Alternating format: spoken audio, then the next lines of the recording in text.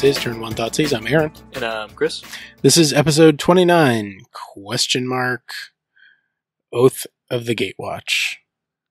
Also, you know, no more Splinter Twin. My vicious plan revealed. Those those who are keeping track will remember that I called for the banning of Splinter Twin quite a while ago. I believe so. Yeah, it, it's been quite some time. It was a, like a long, long time ago. Actually, I think it was before the last BNR. In that episode, I was like, they should ban Twin. Um, so I said on Twitter that no, we're not going to talk about that now. We're going to follow the outline that we have. We are. It's like right there in front of us and everything. yep. Wow, I Uh, really like that. Different- half, half snarky remark we got on Twitter a few months back. Like, hey, where are all those show notes you guys always talk about? That uh, you said were going to be available. Like, eh, It's kind of a running joke. Yeah, it's it's because if you haven't figured it out, we don't normally have them. No. It's like saying we're going to fix it in post. yeah. We don't fix it in post. No, we don't. No one does. Uh, well, some people do. But People with much more time and money than we have. Right, so we we have outlines. We just will never post them. Yeah. They don't. we mean- know what we're doing. Well, we can follow what we write down. There That's you the go. bigger thing. So Oath is out. It is leaked. Then the spill was diked, and then they were like, "Oh, BT Dubs, here's the set." So if you're still confused about colorless mana symbols, blame whoever leaked Kozilek and Wastes because that's why it's confusing because they weren't able to explain it when it came out. Right.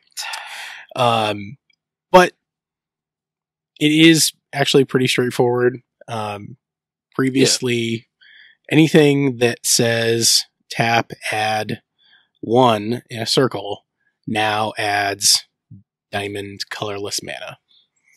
Right. Uh, and that's basically it. Th- The rules actually never changed.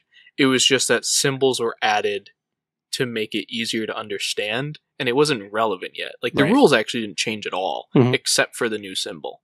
So, like it, the way that mana has worked, it still always works. Yeah. Um, and if you want to play Green Eldrazi deck, you need to go out and buy all the Boreal Druids you can find. yeah, that's right. Because uh, Noble Hierarch isn't going to cut it. You want to cast Kozilek, and you only have eight regular lands and then mana dorks. It's not going to happen. You need those Boreal Druids. Bang, bang. Or colorless land.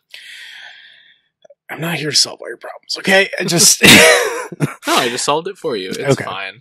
um, also interesting enough, one rule that did change and it didn't come out until yesterday or maybe today, because we're not going to really delve into that much. I'll go over now. The ban restricted announcement and rules changes for Commander are out, uh, and they actually changed that a bit. yeah, uh, you can talk about this because I have. Rule number four. I'm going to just super Do it. brief about it. Rule number four said if you generated mana that wasn't in your commander or general's colors, it was just colorless mana.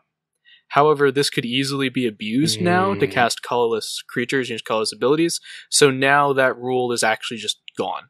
Uh, you can now produce colored mana of any color in your EDH deck and it doesn't matter. It, it was it was a very small but very relevant change. Uh, for instance, that like six mana rare from Dragons of Tarkir that like lets you exile cards from your opponent's library underneath it, and like you can cast them and and lands and stuff. Oh, Okay. You used to not be able to really use that because like you couldn't generate the mana unless like your deck was also running that, and now you just can. And you can run things like Cold Steel Heart and artifacts that tap for any color of mana, or lands that tap for any color of mana and steal people's stuff. And so now there is a, it does offer a lot of play accidentally, and you still now have all these cool colorless cards to use in EDH. So So it's just making really long games even longer. Uh, it could or shorter. Like you could just Okay, end the game sure. faster. Yep. Um, and it might make it longer because the only other real announcement was Prophet of Kruphix was finally banned because that card was really busted. Mm, yeah. Untapping all your lands and playing all your creatures all the time. Yeah, seems good. It's pretty good. Yep. Yep. So, Sure. yeah. but mostly the fact I, what interested me more than anything else was the rule four disappearing. I kind of like that now. So, Yarp. Yep. Um. So then the ban the ban thing happened. Uh, surprising many people, but not me.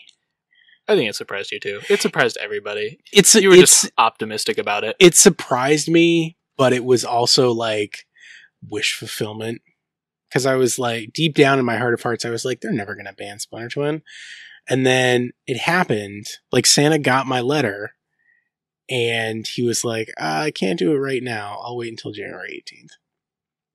Well, not exactly. Okay, Which is, which is the other thing, yeah. So the ban list was also leaked because of Magic Online beta testers, which sign a non disclosure agreement, but they told anonymous person A, and another person told anonymous person A, and that person made a throwaway Reddit account to start some threads. yeah. Well, that person, the throwaway Reddit person, as far as I know, is appears to have a lot of inside information um, that all turns out to be true. And so I don't, without being like needlessly conspiratorial, it's, it's very clear that they have foreknowledge that is not intended to be public. Yep. Like Um, New Abrupt Decay, which looks really cool. I haven't seen it. You should. It's really cool. Okay.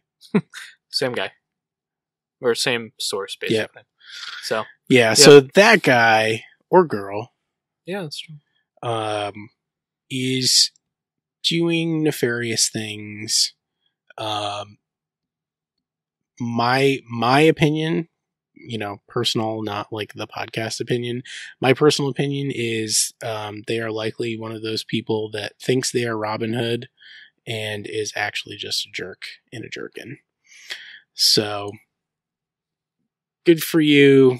You take Yeah, the opportunity for people to make content away and Right. Like, like cause needless confusion. no one really needed to know Splinter Twin was going to be banned two days before the official announcement was going to be out. Like, it was that was really not a big deal. And and also like it it doesn't benefit the person at all. It's not Yeah. like you can like sign up for their Patreon and they'll tell you all the stuff that's happening. Right. soon. Like it's it's it's the opposite of a victimless crime. It's like a benefitless crime. Right. so uh your motivations are a mystery uh please you know i guess do do what you're gonna do we can't stop you um you probably won't go to jail even if wizards does catch you but if you work for wizards you're jail. definitely getting fired Yep. so i hope i hope your internet bonus points are worth your job. From an account you're not even going to keep. Yep. So, there you go. So you've you've certainly garnered all of the internet points. I don't know. Yep. If if they ever find out who you are i'm just going to send you a big mug that says was it worth it? And the answer is no. Um, we have more mail more more q's more a's so we will cover those at the end um, so let's let's dive right in to the Oath of the Gatewatch. It's Oathy, it's Gatey, it's Watchy. Um, it does not have a ton of like day one slot in unconditionally better, you know, cards in it. Yeah, I think, and this is still a topic that is like on our to do list. Maybe next time, where we wanted to kind of do like a year in review and cover, especially a lot of the little tiny things that sneaked its way into modern and some of the bigger things that have been printed in recent sets. And I think it really kind of follows the new template of what Wizards is doing for modern. Uh, a- most of the stuff is not big and splashy. Right. Like that does happen. There are the Tasigurs, there are the Kolaghan's commands. Uh, or well, there are the Tasigurs, and then there are cards more like Kolaghan's command, which are more like value cards that slot into semi-specific decks. Right. Uh, and I think there's a lot more of those. They're fairly not necessarily narrow, but it needs the right shell, Mhm. and then it's good value, a Yeah. good card to run. All right, so we're just gonna run down colors. Um, we started off in white. Uh, just just a quick thing: uh, devoid cards with colored mana are underneath that color. Sure. Just to Yep. let you guys know because you are going to need that color to actually cast the card. So Um, so Eldrazi Displacer is two and a white for an Eldrazi with Devoid. It is a 3 3. It has two and a colorless. Exile another target creature, then return it to the battlefield tapped under its owner's control. Um, blink effects are really good. Right. Not to mention, like, white is really the color that wants blink effects. Yep. And a lot of the decks that would also want this card are going to have pretty considerable access to colorless mana Mhm. without really going for it. So, Also, he gives white a, a really good answer to Etched Champion uh, yep, that as well. that they didn't really have before. No, the deck did run Spellskites pretty heavily, Okay. but other than that, no, Yeah. not really. Um, so like it, um, it's probably going to see. Uh, I mean, it's. I'm sure it's going to see a lot of play unlimited. Um, I don't know if there's a standard deck that really wants him. Not sure about standard, but in, in modern, my real thought was something like the mono white hate bears, the death and taxes Yep. more variants, especially the ones that are using something like Blade Splicer for beatdown. Yep. If anything, that just makes the Blade Splicer versions of the deck even better because now you're getting a 3 3 blinking Blade Splicer. You don't care if Blade Splicer's tapped. Right. Because it's never blocking anyway. The point, the important part is that it's on the field and giving your golems, right? Yes. golems Yep. first strike. So blinking your splicer, blinking, well, blinking your flicker wisp to bounce their Oh, land yeah. or something. Like it's just a blink. you have a lot of really cool lines of play with this card. So could blink something 182 times. there you go. Hi-oh. Immolating Glare is a good white removal spell. Uh, Yeah, g- good in quotes. I will admit that. it's it's as good as it's it's at least as good as Swift Reckoning. Or no, it's better than Swift Reckoning because it kills Sun Titan. Yes, it can kill creatures. So, for those of you who don't know, uh, Immolating Glare is one and a white for an instant destroy target attacking creature. Uh, this card is now playable. This was not on my list before Twin was banned. Now it's on my list Yep. because it doesn't stop Deceiver Exarch. But now it destroys big creatures, small creatures, anything you want. Yep. As long as they're attacking with it. So, Yep. once It's- again, it's it's a fair piece of white removal beyond Path to Exile Yeah. which I think is important. Uh, does this show up as a four of? Absolutely not. Does it supplement Path to Exile? Yes. Yeah, I think think, so. so. And it's also like I don't think Celestial Flare is unplayable. right, but this being This one is- in a white and also target instead of Celestial Flare, for any deck that was considering running Celestial Flare, Yeah. I feel like this is better. I would run this instead. Um, I had a couple of things uh, in white that Chris did not have. Um, I put Stonehaven Outfitter in there. Um, one white for a 2 2 Kor Artificer ally. Equipped creatures you control get plus one plus one. And whenever an equipped creature you control dies, draw a card. Um, works great with Skull Clamp.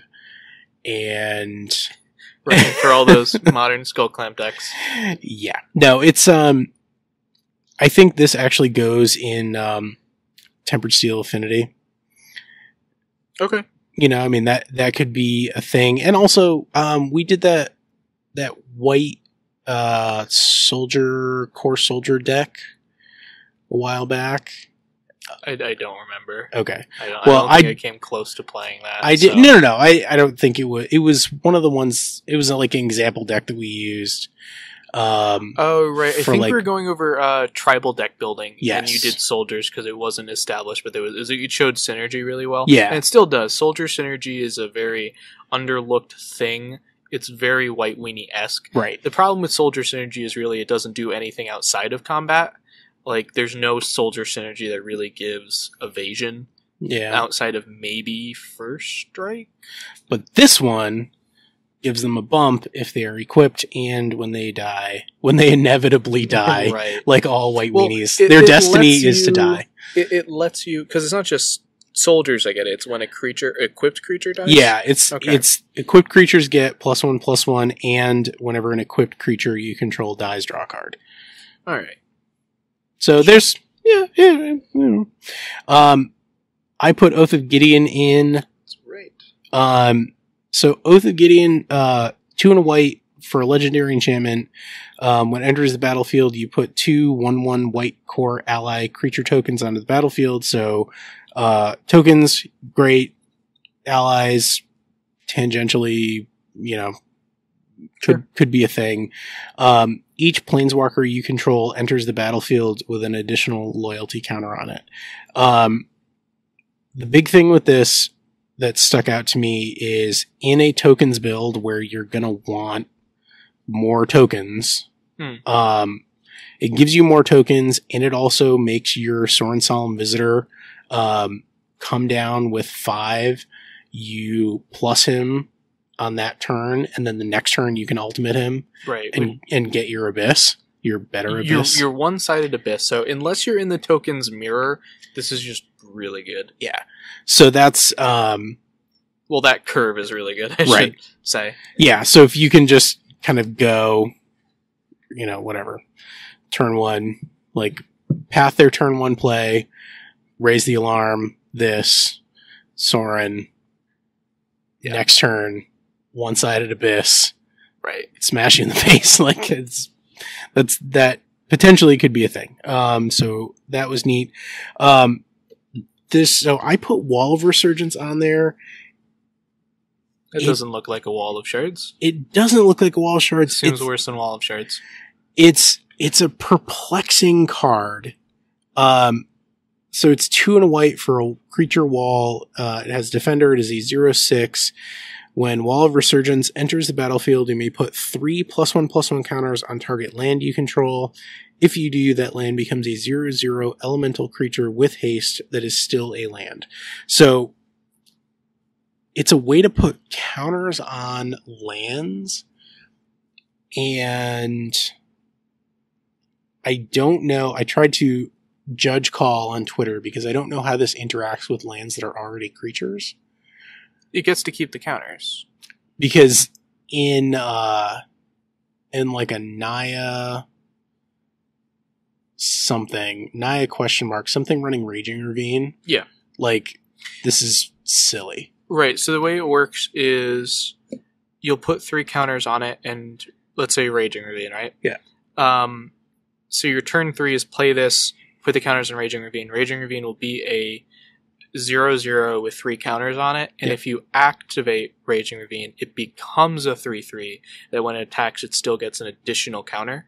So it'll be a three three with three counters. And then when it attacks, it gets the extra counter for four counters. Okay. Uh so yeah, I mean it seems pretty good. Because Raging Ravine is because it gets to be now your raging ravine can be bolted at any time right. before you attack with it. Sure. And unfortunately, you're going to have to wait because if you play this on turn three, you're going to have to wait two turns before you get to attack with Raging Ravine and have it be a 4 4 all the time. Yeah. So, All right. Um, but it, it interesting little like interplay. Um, I'm I'm. I think there is a land creature deck out there waiting for someone to make it because some of the manlands are redonkulous. Um, I mean, like Raging Ravine is crazy, Celestial Colonnade is crazy. Like there, there are things out there, and especially in this set, there's a lot of stuff to support them. sure. Um, I don't know if it's gotten to the critical mass point where you could actually take all of them and put them into a deck and have it be competitive. Um, but the world is your oyster at this point. Um, so that is white. Uh, for blue, uh, I wanted to quick just re-mention one we went over already, Overwhelming Denial. Yeah. Uh, if you haven't listened to last episode, you should do that because that would be cool. Yep. Uh, essentially, uh, I said it would look be in uh, twin sideboards. That is no longer true. Mm-mm. It is Nope. not going to be in twin sideboards. It definitely will not. guarantee it. Yep. Um, but if some sort Unless of you're replace unless that, you're on Magic Online, right? where you, where people are still playing Twin. Anybody that isn't playing uh, Red Green Tron, which is everyone, Yeah. who isn't playing Black something Black X Eldrazi, Right. it's basically just Black X Eldrazi versus Red Green Tron, and then if you try and play against someone, you will play one of those two decks. Yep. So, but the card, everything I've said about the card, uh, still remains true. Mhm. It's neat. Um, so go listen to that one. Some of the some of the Surge cards I think are like borderline playable. Right. Uh, so the only other one that I had, uh, thinking was putting under blue. Blue was kind of underwhelming this set. Um, but the only other one that I kind of looked at was comparative analysis, which is three and a blue for an instant. Uh, target player draws two cards. So it's an instant speed divination for one extra mana. That's all on curve. Not quite good enough for modern. Yep. The difference is it does have a surge cost of two and a blue, which makes it now instant speed divination, which is good enough, pretty much. Um, so this kind of almost along the same lines as overwhelming denial. If twin decks were still a thing, it would kind of go in here for the similar mirror matches. If you're playing a more grindy blue deck, putting this in your sideboard as just instant speed card advantage, especially in addition to countering something. Like you don't want a lot of these, but this is a fairly good card if you're remanding their turn four, turn five play, and then getting to now cast this and refueling your hand. So Yeah, I could see it in. I just like wouldn't even in in the scenario that I will lay out. It's instant speed is irrelevant, but like if you if there was a card that said pay two life, look at your opponent's hand, draw a card, draw two cards, like basically divination, draw two cards. you mean Gitaxian Probe into this? Right. Yeah. Uh, I don't know if I'd play that card. I guess I would. Well, it, it depends. I think the instant speed is what makes it matter because the whole point of this is it's card advantage that you don't have to tap out for.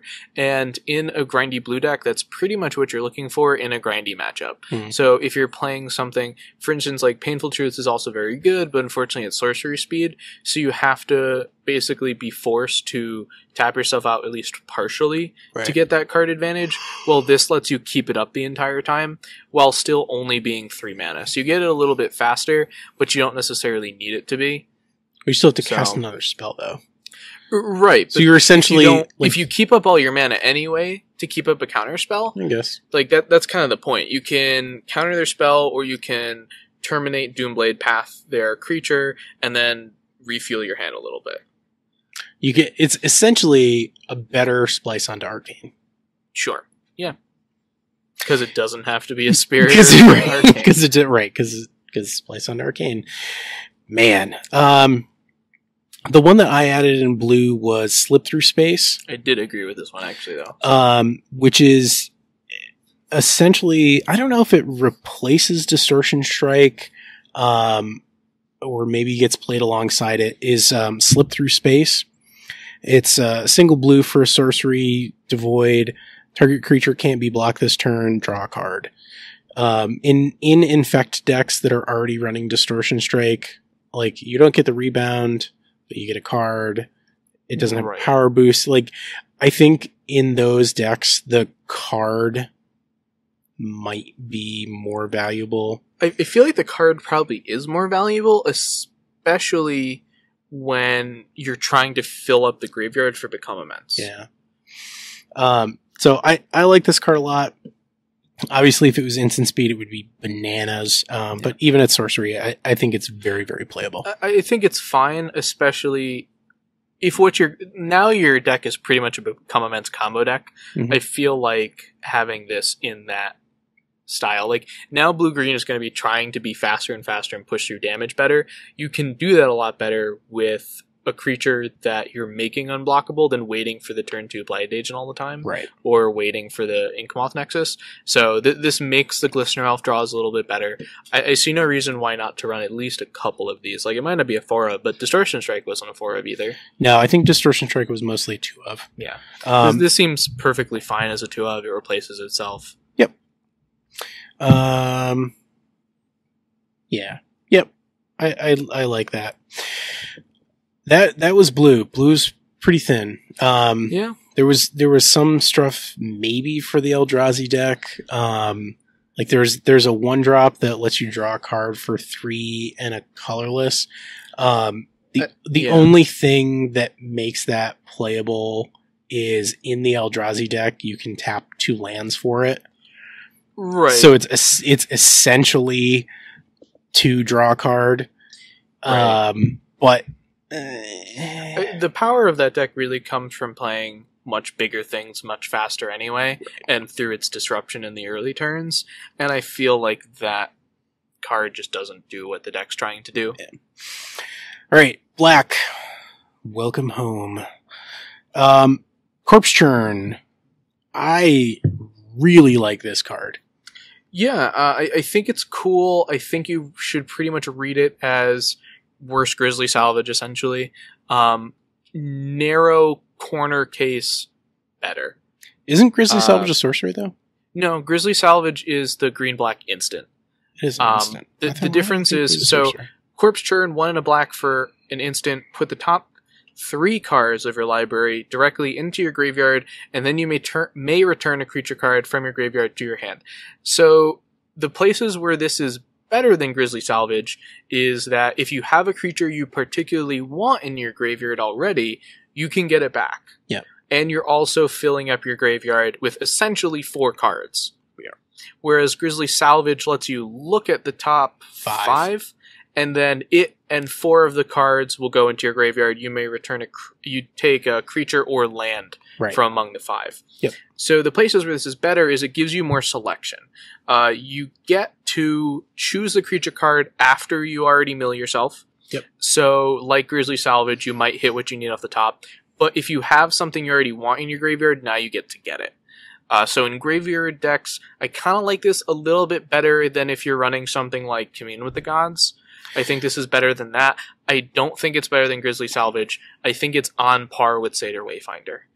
Yeah, I, I could see this in uh in delve decks where you're just trying to like power out something and you don't want to accidentally flip your Tasigur, you don't want to accidentally flip your Gurmag Angler. Yeah. You know, you can use this end of turn, you know, like opponent's end Right. step, corpse churn, flip over three cards, get back your whatever, Gurmag Angler, next turn, delve out the Gurmag Angler for one, do Yeah. some other stuff.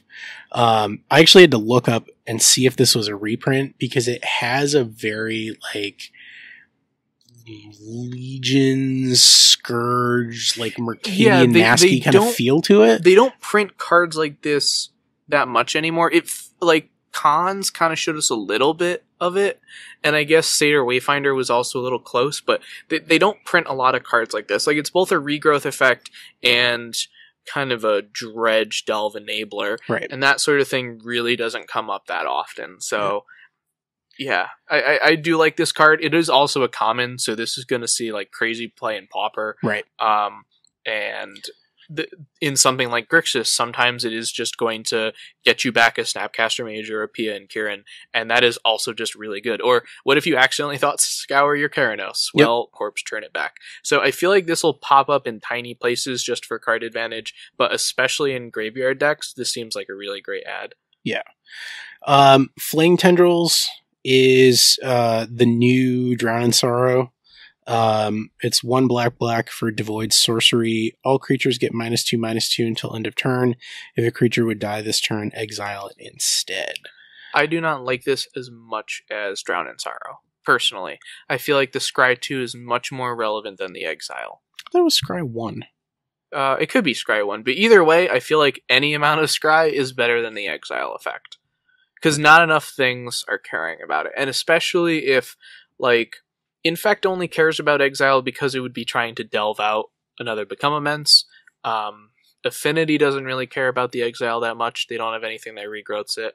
Uh, it's worth mentioning that the devoid isn't really relevant with um, Etched Champion because the minus two minus two isn't actually damage, so protection from colors doesn't actually apply. Right. So I like Drown in Sorrow better. Uh, I can't think of a reason to run this really instead, unless I don't know. I'm kind of struggling. I guess it exiles kitchen finkses. Mhm. But other than that, I mean, for instance, now you're seeing more Radiant Flames and Anger the Gods. There's a reason. The the single red is more important than the exile effect. Right. Unless you're hitting double red really consistently and easily, you just play Radiant Flames in a three color deck. Um, but it's there. Yeah.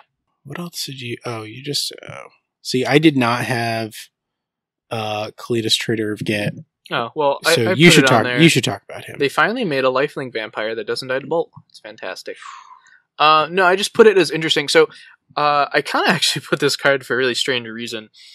This is the type of card. So if Wizards, we'll get to it later, but now that Wizards has banned Twin and will hopefully uh, keep the bans coming in the upcoming year, uh, Kalitas is the type of card you could start to see play right. uh, four mana creatures that don't die to bolt, that have inherent value alone, and also have cool abilities that can be built around. So Kalitas is two and double black for a 3 4 lifelinking zombie. Uh, if a non token creature an opponent controls would die, uh, instead exile that card and you get a 2 2 black zombie creature token. Uh, you can also pay three mana, sacrifice another vampire or zombie, and put two counters on Kalitas. Uh, so the counter ability I don't see being as relevant in modern, but it's mostly a 3-4 lifelinker that now can also generate you more value from all of your kill spells. Mhm. So this is the type of very fair mid-rangey card advantage card that might start to see play if now that Twin is banned, if Tron also gets nerfed at some point. Like if you don't if other decks can be fair and start to go longer, Mhm. but can't quite go as long or big as Tron, then this is the type of card you can look forward to playing. Uh, yeah. I mean, I I like him. I like I like vampires. Yeah. So I don't hate him. I mean, there's this set has a a dearth of. Wait, is that the? I don't remember if dearth means a small amount or a large amount. I always get that confused. Uh, a scarcity or lack of something. Okay, So No. that is the opposite. it's of what the you meant the opposite of what I meant to say. A uh, it has a lot of four mana three fours. Uh, it's like they're learning. Yeah. So that's that's interesting. But what I am going to talk about is twice as good as that Is it because it has twice the mana cost? And twice the power and toughness. Ah, modern playables all around. it's uh oh, it's only actu- seven. That's- actually that's yeah, fair. you get a Okay. discount. All right, that's that's fair. You're already spending so much mana. It's- we figured we'd give you one down. It's it's buy one get one free essentially. You buy two four You mana three fours and you get one An eighth off. one one seven mana six eight. Um, I am speaking, of course, of Dread Defiler.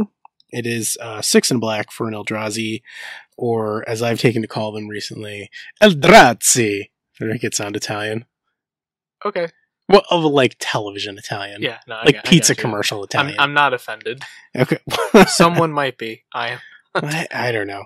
Anyways, uh, it is a seven mana six eight, and it has three and a colorless. Exile a creature card from your graveyard. Target opponent loses life equal to the exiled card's power. Um, why is that important? In the Black X Eldrazi deck, um, Ulamog does not get shuffled back into your library. Even if a card could, though, you can respond to the trigger by exiling if you have Sure. the mana. I know it's like a little bit corner case, but that that is true. Like if someone like milled your Emrakul and you happen to have four mana available and Dread Defiler in play, you will be able to pay four mana and shoot them for fifteen. Yes. Um, so this is uh, another, this is also a thing that ends up in like, um, maybe, uh, uh, dredgy kind of deck. Wasn't there? There was. Oh, actually, you know where this is really good. If you have a Death Shadow in the yard. I mean, sure. If you have a Death Shadow deck, though, you're probably not casting seven mana creatures Footsteps of the Goryo. to get Protean Hulk and win the game. yes, please. That's exactly what I want. I'm just saying. No, it's uh it, it's interesting. Like I said, in in the in the Black Eldrazi deck, um, you know, having having a way to get extra value out of your creatures that have already been killed, um, especially considering their power is so high normally. You know, so it was like, oh well, I doombladed your Oblivion Sower, which I have done with relish a number of times. um, it's uh you know, you're like, oh, okay, darn, four mana, five you. I like him. Red, red, red. The deck that is going to win the next Pro Tour. Burn. Um, you had a bunch of stuff, and I had very little stuff. That's not no, true. I only had uh, you had two things. two things, and you added the uh, c- toll collector. Yeah. So Kazul's Toll Collector is two in red for three two Ogre Warrior, uh, one irrelevant and one fringely relevant creature type. He has zero attached target equipment you control to Kazul's Toll Collector. Activate this ability only anytime you could cast a sorcery. Um, there's already decks that uh, cheat out equipment. Um, there are decks that have swords in them.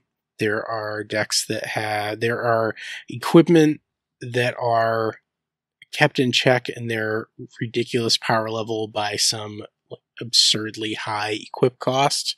Yeah. Um, he gets around all of those things. Um, I have actually faced and lost super hard to, um, there's a red equipment deck with um, Goblin Gaveleer out there. Uh, it is intensely aggressive and revolves around equipment. This this guy goes in there, but also if you're like, I want to play one of those decks that gets like Argentum armor on uh, turn three, and then you get this guy, and you're like, I'm gonna take this Argentum armor and put it on this guy, and then I'm gonna vindicate every time he attacks. Oh, P.S. He's a nine eight. Sure. I like him a lot. Um, he's he is definitely a build around. You know, he's not like Yeah, I think this is uh, one of the cool build around oath cards, and Yep. there aren't actually as many as there were before in previous sets. yeah. Um, but th- this is definitely one of them. Yeah, so that's there is there is a red white equipment sub theme in the set that shows up in a couple Yeah. places. Um, so I don't know if you took all of the modern equipment synergy pool and sort of mushed it together. If you could get like a tier two deck out of it, um, I'd have to look into it, but who knows? So if that's your type of thing, though, there are definitely now you got a new toy. Yep. Yeah. There's there's an, a lot of enablers for it in this set. Um, I'm gonna have you talk about Kozilek's return, um, because Sure. I just I Don't get it. I don't get it. I mean, it's Oh well, like it's it's fine. Oh well, here's the thing. It is three mana. Yep. Helps Tron be infect and affinity.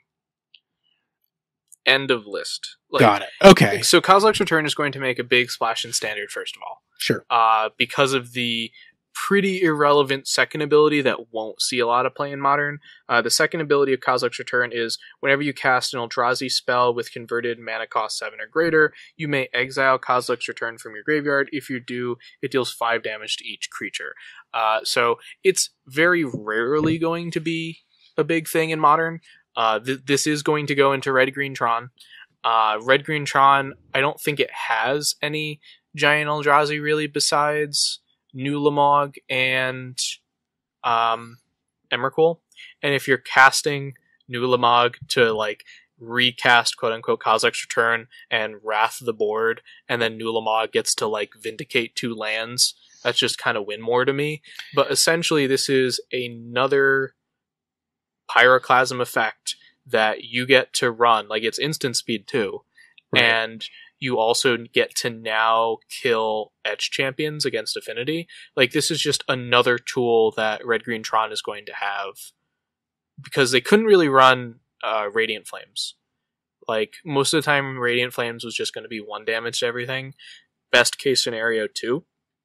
Whereas Kozilek's Return is another Pyroclasm, but now it's instant speed, and it's going to be better against Affinity. So, seems good. It's also good against pro red creatures like.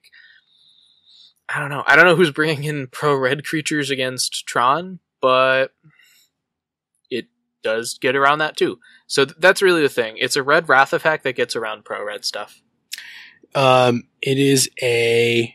It gives all of your Eldrazi spells that are cost seven or more a. Uh, gives him flashback swirling sandstorm. It's five damage. That's- Yep. I don't need to give it another card name. That's, I that's why it's going to see play. It's mostly because of standard, but also modern. It will make huge splashes. So that that's Oh, why. Man, why am I not playing Breath of Malfegor? Uh, I can give you five reasons that are all of its converted mana cost as to why you're not running it. Fair. Um, But in additional, the only other red card that we really had was the Goblin, actually. The Goblin Dark Dwellers. Uh, three and double red for a 4 4 with Menace, which already means it's a 4 4, so it's not going to die to Bolt, which, if I'm paying 5 mana, is exactly what I want. hmm, And then it also now has some value where when it enters the battlefield, you may cast a target instant or sorcery card with converted mana cost three or less from your graveyard without paying its mana cost. If that card would be put into your graveyard this turn, exile it instead. So you're basically getting a free flashback on one of your instants and sorceries in your graveyard. The good thing about this is it is only red, so it's not like it has to go in a very particular deck. It goes in Grixis, it goes in Jund, it goes in blue red. It can go in mostly anything as long as you can support the double red and you're playing instants and sorceries that you want more value out of. Mhm. Um, it's five mana, so it's a little rough in Jund. Like you don't want to flip it to Bob, but the value is just really here. Obviously, living the dream is hitting a Kolaghan's Command and just mm, then you can return another creature. Like if in Jund, which is where a lot of people were slotting this before the twin ban, uh, you could play Kolaghan's Command, return Tarmogoyf, uh, shock a creature, or make your opponent discard a card, or destroy an artifact. Like that's just very, very good. In addition to getting a four four with evasion. So this is it eats tokens for instance. Hmm. Like if your opponent's ta- playing a bunch of lingering souls and they have to block with more than one token, so they can't just ch- chump with one token every Right. turn. It's going to eat through it twice as fast. Mhm. Um, so I mean, it's it's a very very good card. It does need a home. Uh, we're gonna need to see what red mid range decks emerge hmm. uh, now with the new metagame, but this will eventually see play in modern. I just don't think it will see play as fast as it probably should have Hmm. without the ban shakeups. Yeah. Uh, green. Uh, um, yeah. Uh, natural state. Yeah, th- did we talk about this? I thought we did. We briefly. we may have mentioned it. Um, natural state. Uh, it just takes up that same uh slot as uh, uh that one green destroy an enchantment thing. destroy target artifact or enchantment. Its controller gains four life. Right. So it's it's that, but they don't gain any life. It's destroy target artifact or enchantment with converted mana cost three or less. It's non abrupt decay. It's like a normal speed decay. Okay. Well, has the abrupt Well- decay restriction. Sure. Um. Yeah, and I don't know. This this is really weird. Like you'd normally Approximately pretty much just half of an abrupt decay, even in casting costs. kills about half the things too. Well, there. you- Um, that's what do you expect? Half off is half off, right? You get what you pay for. Anyway, I don't know how much this is actually going to steal spots in modern yet because I actually have this too, and it will see spots in places. I think this sees more spots spots in the more aggressive green decks, Hmm. um, but not something like in uh, infect, for instance. Infect really likes the version that gains their opponent for life because they don't care Right. about the life, and more importantly, sometimes you want to hit your own thing against burn because burn is not a very good matchup to begin with Right. and there are some corner case scenarios where people will play that uh, i saw amulet bloom uh, will do it sometimes to blow up their own thing to gain life instead Yeah. um, Well- Not anymore. not anymore Womp womp. i saw uh, top control do it lantern control Sure. Yeah. There you go Yep. so there are corner cases that come up probably more than you'd expect Yeah. where people will blow up their own artifact or enchantment to gain for life. Uh, but the rest of the time, because you you figure if you're bringing it in against burn, you're either going to gain for life or you're going to kill their Eidolon of the Great Revel. Yep. So it works in either place. Yeah. This is one of those cards I think that like it gets better the older the format. Sure. You know, so like this this in legacy good, this in vintage probably very good. Yeah. Not as much anymore. Stacks is banned basically. Womp It's womp. fantastic. Um, Oath of Nissa. Look at her. Look at her little elf ears. Uh, so green for legendary enchantment. When Oath of Nis- Nissa enters the battlefield, look at the top three cards of your library. You may reveal a creature, land, or planeswalker card from among them and put it into your hand. Put the rest on the bottom of your library in any order. You may spend mana as though it were mana of any color to cast planeswalker spells. So like the rest of the Oath cycle, Incoming Super Friends deck. No super friends decks. um, the the second ability is very largely irrelevant. Uh, mostly in modern, this will see play because it is a one mana green cantrip Mhm. uh, that is fairly good. And if you happen to also have planeswalkers, I, I don't see why that's bad. Like is this could act as a cantrip and potentially help you cast Liliana where you couldn't prior uh, and that seems good to me. Like this is basically it, it slots into the Jund and Junk esque decks Yeah. once again before Twin was banned. So Well, it's see where green. this- Yeah, it's it's almost uh green serum visions. Sure, yeah, it's it's a one mana cantrip. Like th- this goes into the non green stompy decks. Basically, this can go in something like Abzan Coco. It can go in something like the green white aggro decks because it just finds what you need a little bit faster. And if you happen to also be running planeswalkers, it's just going to help that as well. Yep. Elemental uprising. One in a green for an instant. Target land you control becomes a 4-4 elemental creature with haste until end of turn. It is still a land. It must be blocked this turn if able. It is almost a green, almost Doomblade. So it's Yeah. like a Like a smother, only kills small things. Yeah. Yep. Um, so it can be used offensively, obviously. Um, it can be used defensively. So on the on the offense side, um, you basically have a land that has lure. Right. Uh, so, so offensively, the idea is you get a creature that you can then go ahead and attack with and trade profitably with your opponent. Uh, being able to kill a mana dork, a young pyromancer, something like that is going to be very relevant. Um, I don't know how much play this will see. Um, it's it's pretty much another removal option if you don't want to run, let's say, four dismembers. Like if you're a mono green deck, this Right. is a fairly good piece of removal. Um, it, it is instant speed, which is a little bit more relevant. That Yeah. that's where I kind of give my nod to it. There's not a lot of two mana instant speed fight effects. Right. Uh, most of the really good fight effects are all Uh, sorcery speed. Okay.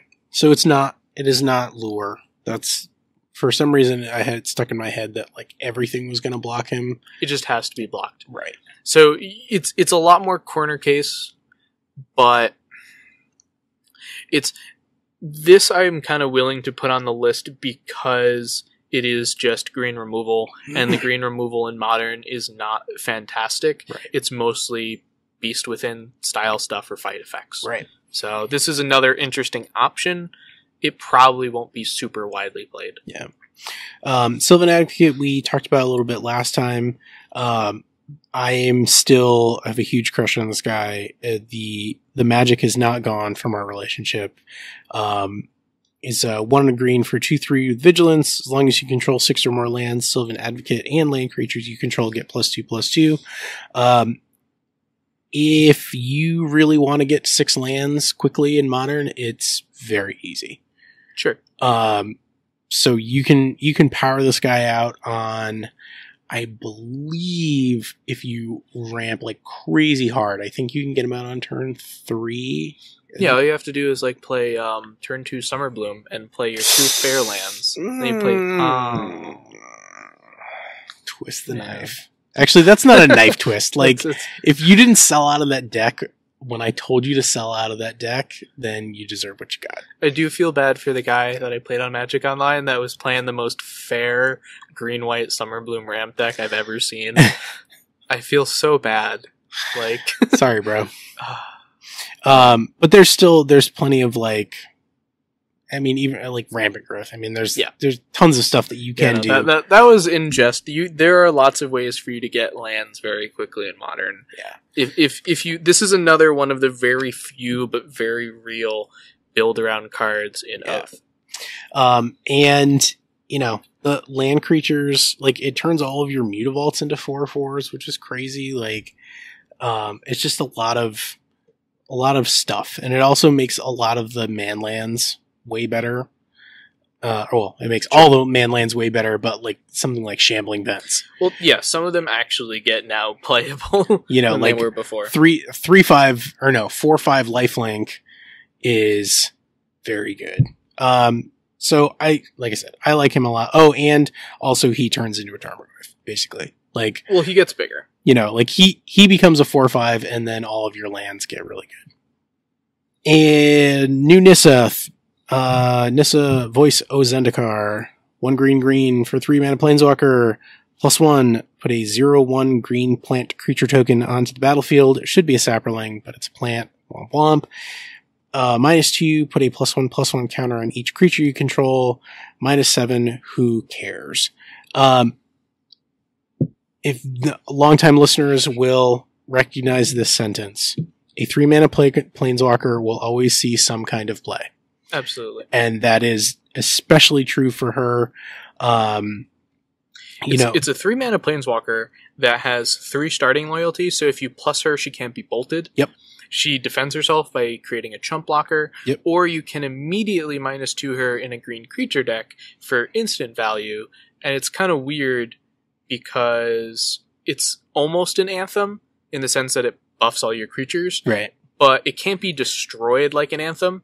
The drawback being creatures you play after her don't get the buff. Right. So I, I think this is just a really, really good fair green card Yep. that we'll see play in green creature aggro decks. Like Yep. something like even the Wiltleaf Liege fair deck. Yep. Well, green white aggro um, likes this. Um, there are some of those. Uh, there are actually a, a fair number of cards that have effects for creatures that have plus one plus one counters on them. That too. Um, in this in this limited format, there's a bunch of them, but Yep. in the modern card pool, there are actually quite a few. This would go perfectly in that whole like champion of Lambholt Yep, creature deck that super good. live brewed for an episode. So Um, uh, as well as the green white Wiltleaf Liege aggro deck that splashes black for Lingering Souls and Siege Rhino, and that's pretty much the entire splash. Um, I think maybe Thoughtseize. Uh, it, this would go great in that because now you're just also doing Lingering Souls tokens, and it's just like Lingering Souls, flashback Lingering Souls. You have one or two other creatures, and now you just get to go Nissa buff everybody, like swing in the air for six, Yep. and have a bunch of ground blockers. Like, it, Yeah. it, it would definitely will see play. Yes. Um, so uh, a late addition was uh, Pulse of Murasa. Uh, two and a green, instant, return target creature or land card from a graveyard to its owner's hand. You gain six life. Um, this is a deceptively powerful effect, especially in the world that we're going to be living in, which is going to have a lot of dumb graveyard decks. Um, because it is anyone's graveyard, you can cast this in response to somebody casting Unburial Rites. You can cast this in response to somebody casting Goryo's Vengeance. You Yep. can, you know, like if you know, you know, whatever, you know your opponent doesn't have a through the breach, then they go Goryo's Vengeance targeting Griselbrand, and you go Pulse of Murasa, put Griselbrand back in your hand. I gain six life. Yeah. Ready, go. Great. Um, instant speed options is always a very powerful thing Yeah. that shouldn't be overlooked. Um, obviously, well, once again, so Comet's gonna see playing Popper, but more so, the the life gain on a regrowth effect is very good. Yeah. Depending, I, I think this is very deck dependent. sure. Uh, and, and it's certainly something you could start seeing in sideboards for exactly that reason. If more graveyard decks and linear combo decks start showing up that utilize the graveyard, the Pulse of Murasa seems really good. For instance, if the Melira combo starts getting good, uh, the, the persist trigger on Kitchen Finks is a trigger. Right. Like you will be able, if they're tapped out, and that's how they start comboing. Like if they tap their whole team to Chord of Calling into the combo, you will be able to pulse the kitchen finks back to their hand and stop it after one or on the, on the very first iteration before Yeah. they even gain any life. Now you still have to deal with everything, Sure. but it might give you that little bit that you need. Um, and also just uh, on its face, if you're just like, oh, okay, I was dredging and I flipped my whatever. Yeah. I can get it back and gain six life. Uh, six life is huge. Right? Like, yeah, I almost like this a little bit better in something like a dre- uh, dredge deck over feed the clan, Yeah. just because it doesn't require you to have a board presence. yeah. This card is good when you're ahead and when you're behind if you're playing a dredge deck. Yep. Um, so we like that. Um, Seed Guardian, I thought was interesting. Um, it is one of the not official cycle of four mana three fours that are in this in this. Right. Um, it is an elemental. It has reach. Um, when Seed Guardian dies, put an XX green elemental creature token onto the battlefield, where X is the number of creature cards in your graveyard. So once again, really good in dredge. Yeah, uh, essentially, it's a green creature with an upside, can't be bolted, and it can't be one for one. Yep. Yeah, so it's it's like a fat voice resurgence, um, Yeah. which you know is pretty good. It's fine.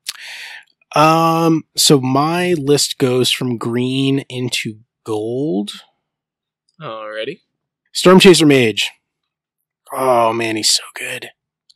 Yeah, I, I think he's interesting. He's another one of the build around cards from this set. Uh, like we said, there weren't a ton, but I feel like the ones that there are are fairly good. Uh, the fact that he can dodge lightning bolt because so he's a blue and a red for a one three with flying, haste, and prowess. So the fact that he can dodge lightning bolt with literally any spell that you play, Right.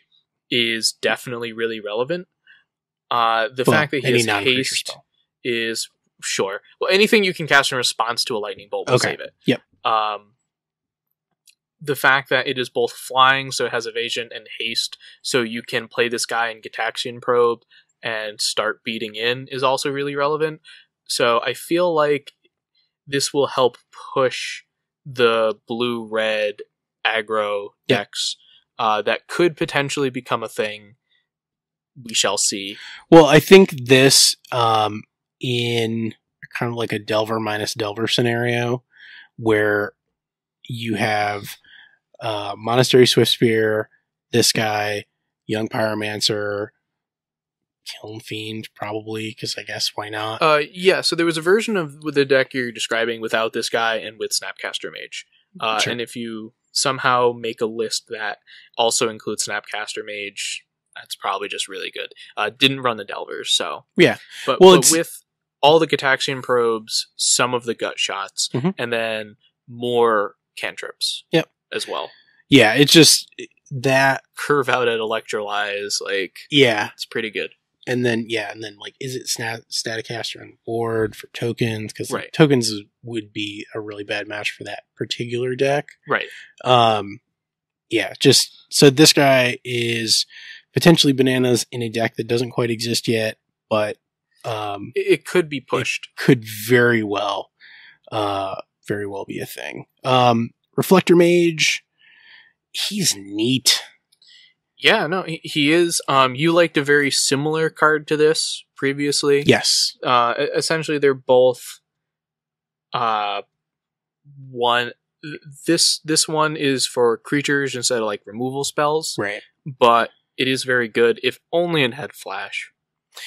Uh, I mean, Sure. that's that's like the only thing. I'm sure when I get bored of trying to play a real deck in the new modern metagame, I will play five color Vial humans, and this guy goes straight in there. Yeah. But Well, I know I made the Esper Humans deck.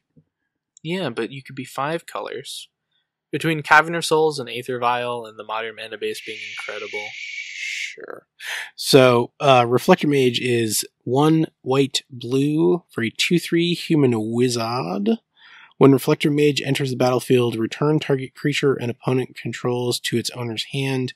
That creature's owner can't cast spells with the same name as that creature until your next turn. Right. Neat.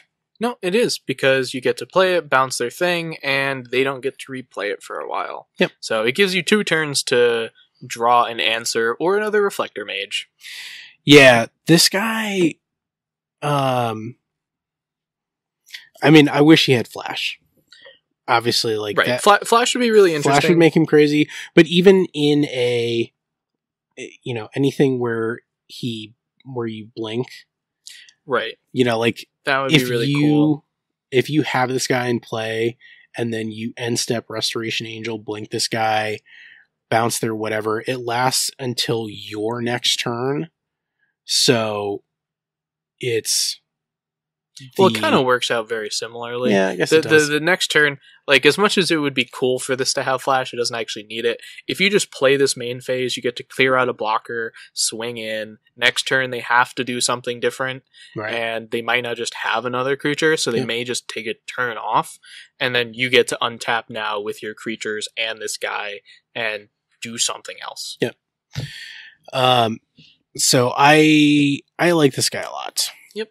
Um, I wanted to just What did I have? know yeah. What did you have? I had uh, Void Grafter, I believe. yes, this was also I had him very, too. This is also very similar to a card that you liked previously. This is kind of like the one shot Spellskite. Mhm. Uh, it is a three mana two four devoid and flash, and when it enters a battlefield, target creature you control gains hexproof until end of turn. Um, I don't know if this is good. It's probably not, but it sure is interesting. It is. I mean, a flash two four is cool, and protecting a creature is cool. It's basically uh, it's like Simic Charm that leaves behind a two four body. Right. Well, that one mode of Simic Charm. Yep. But I mean, were people really using the other? Sometimes, yeah. Oh, the plus three, plus three, I Yeah. guess. Um, so this this guy is very much uh, along those lines in those colors, and uh, I like him a lot as a as a role player. Um, you know, certainly, I think Death and Taxes is going to be on the upswing. So having creature based effects that do things that you would normally use spells for um, to play around Thalias and stuff like that, I think is is going to be something to think about. I mean, it's it's certainly not going to be like like any deck that's currently running Simic Charm isn't immediately going to tear up their Simic Charms and put this guy in, Sure. but it's Yeah, there. This is much more of a I like this card and find it interesting than uh this will definitely slot into a bunch of decks Yep. type of card for me. But I, I do like it, and I love blue green value creatures. So Right. Um, you had Mina and Denn Wildborn. I did not Oh. have them. uh, I, I had this in just as another nod to it's one of the other build around cards in the set, in my opinion.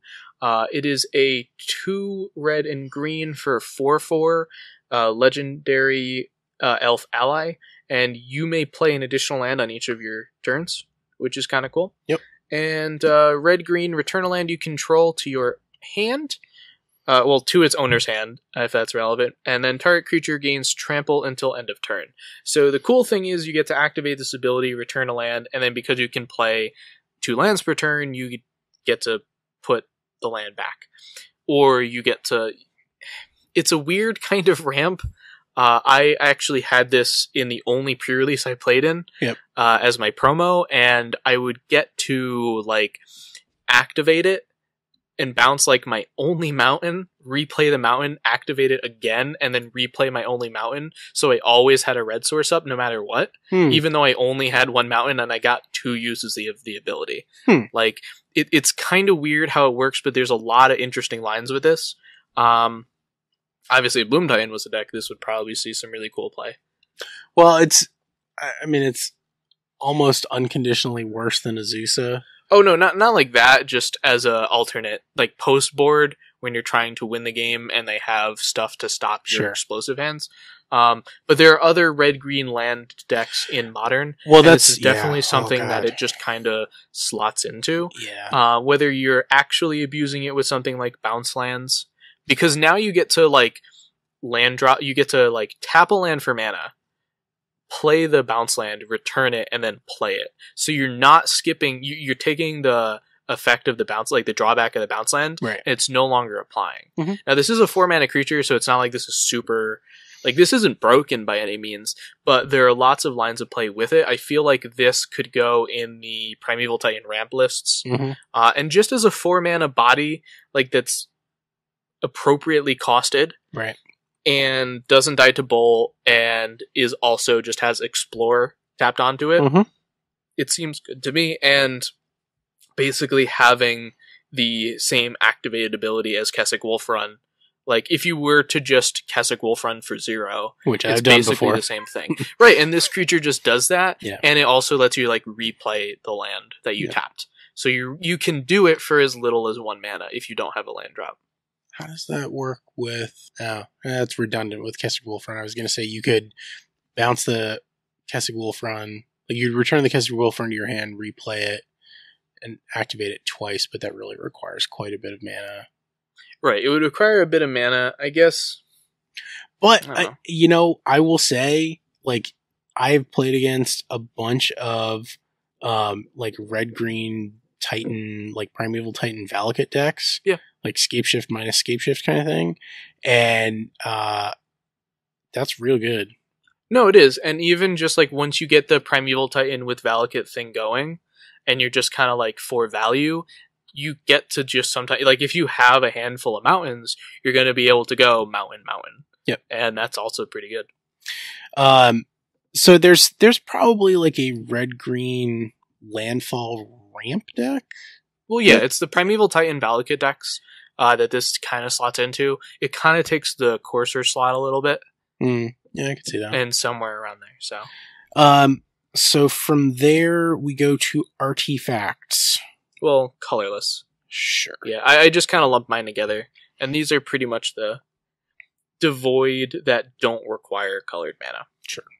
Um, Stoneforge Masterwork, uh, we talked about a little bit last time. Um, I really, really like this card because I really, really like tribal decks. Um, it also has just like, it's just good. Right. It's- I will. I will definitely say this card is very good. Uh, the one thing to keep in mind is, I don't think it's good except in a dedicated tribal deck. No. Uh, so that that is the one thing to keep in mind. I don't think you can like. I, I don't think you put it in tokens just to play well off of Bitter Blossom, for instance, or to play well off of. Uh, like you wouldn't put this in a Lingering Souls deck. Like it's just not good enough Like because if you you're go, committing three mana to buff up one of your tokens after you already dirtled with your lingering souls twice. Like I don't think you're impacting the game enough against all these linear aggro decks. Like the the Stoneforge Masterwork is really powerful because like in a Merfolk deck, if you just have three Merfolk now, this is buffing it up an additional three without a Lord. And oh, each other creature. Oh, you're right. Right. Three. uh, well, depending on what you have, and so and, and if it is unblockable, like right. And then you attack with Mutavault, you get another one. sure.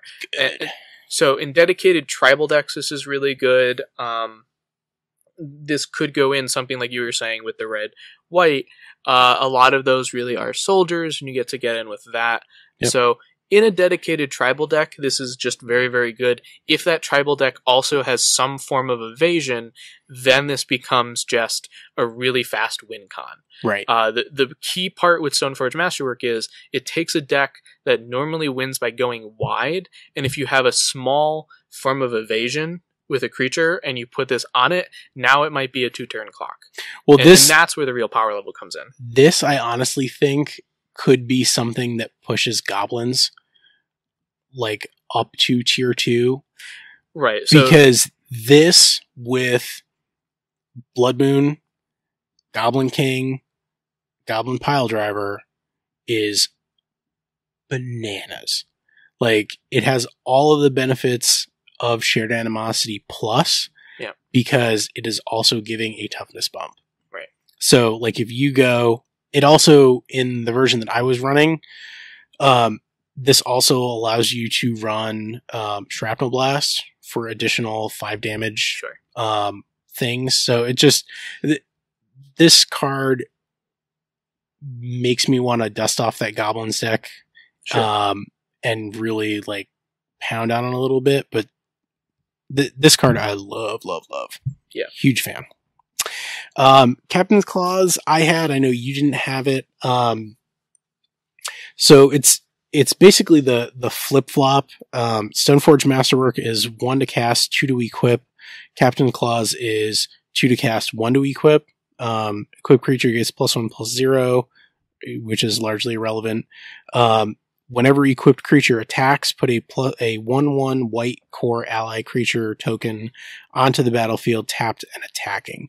Um, that is relevant. Um, so it has applications in theoretically um, in token decks, in uh, ally decks. Mhm. Um, you know, it's really in an ally deck is is pretty silly. Right. Um, but alongside uh, token decks that are running Gideon, Mhm. um, it's just another like all you need is one other either one ally synergy or one Kor synergy right. um, and it'll get really out of hand. Yeah. Uh, uh, uh, uh, spatial contortion is a conditionally better nameless inversion, but also conditionally worse. Right. So I, I had this on my list too, just because it is uh, one in a colorless, so it is completely colorless, but it requires colorless. And uh, target creature gets plus three, minus three until end of turn. So this is nameless inversion if you don't need changeling synergy for some weird reason, or if you don't have black mana. Yep. Uh, this is one of the ones that it's it's another removal spell that is offered up to a lot of the single color decks that run a lot of colorless lands like Merfolk and Death and Taxes. Yeah. Uh, in addition to some things like Allies and Slivers, because they do run a lot of Cavern of Souls, and Yeah. Ally Encampment is another one if you're running Allies. So Yeah, for for those decks, this is basically one in a colorless kill target. Uh, that's champion. thing in your way, really. Yeah, thing in your way.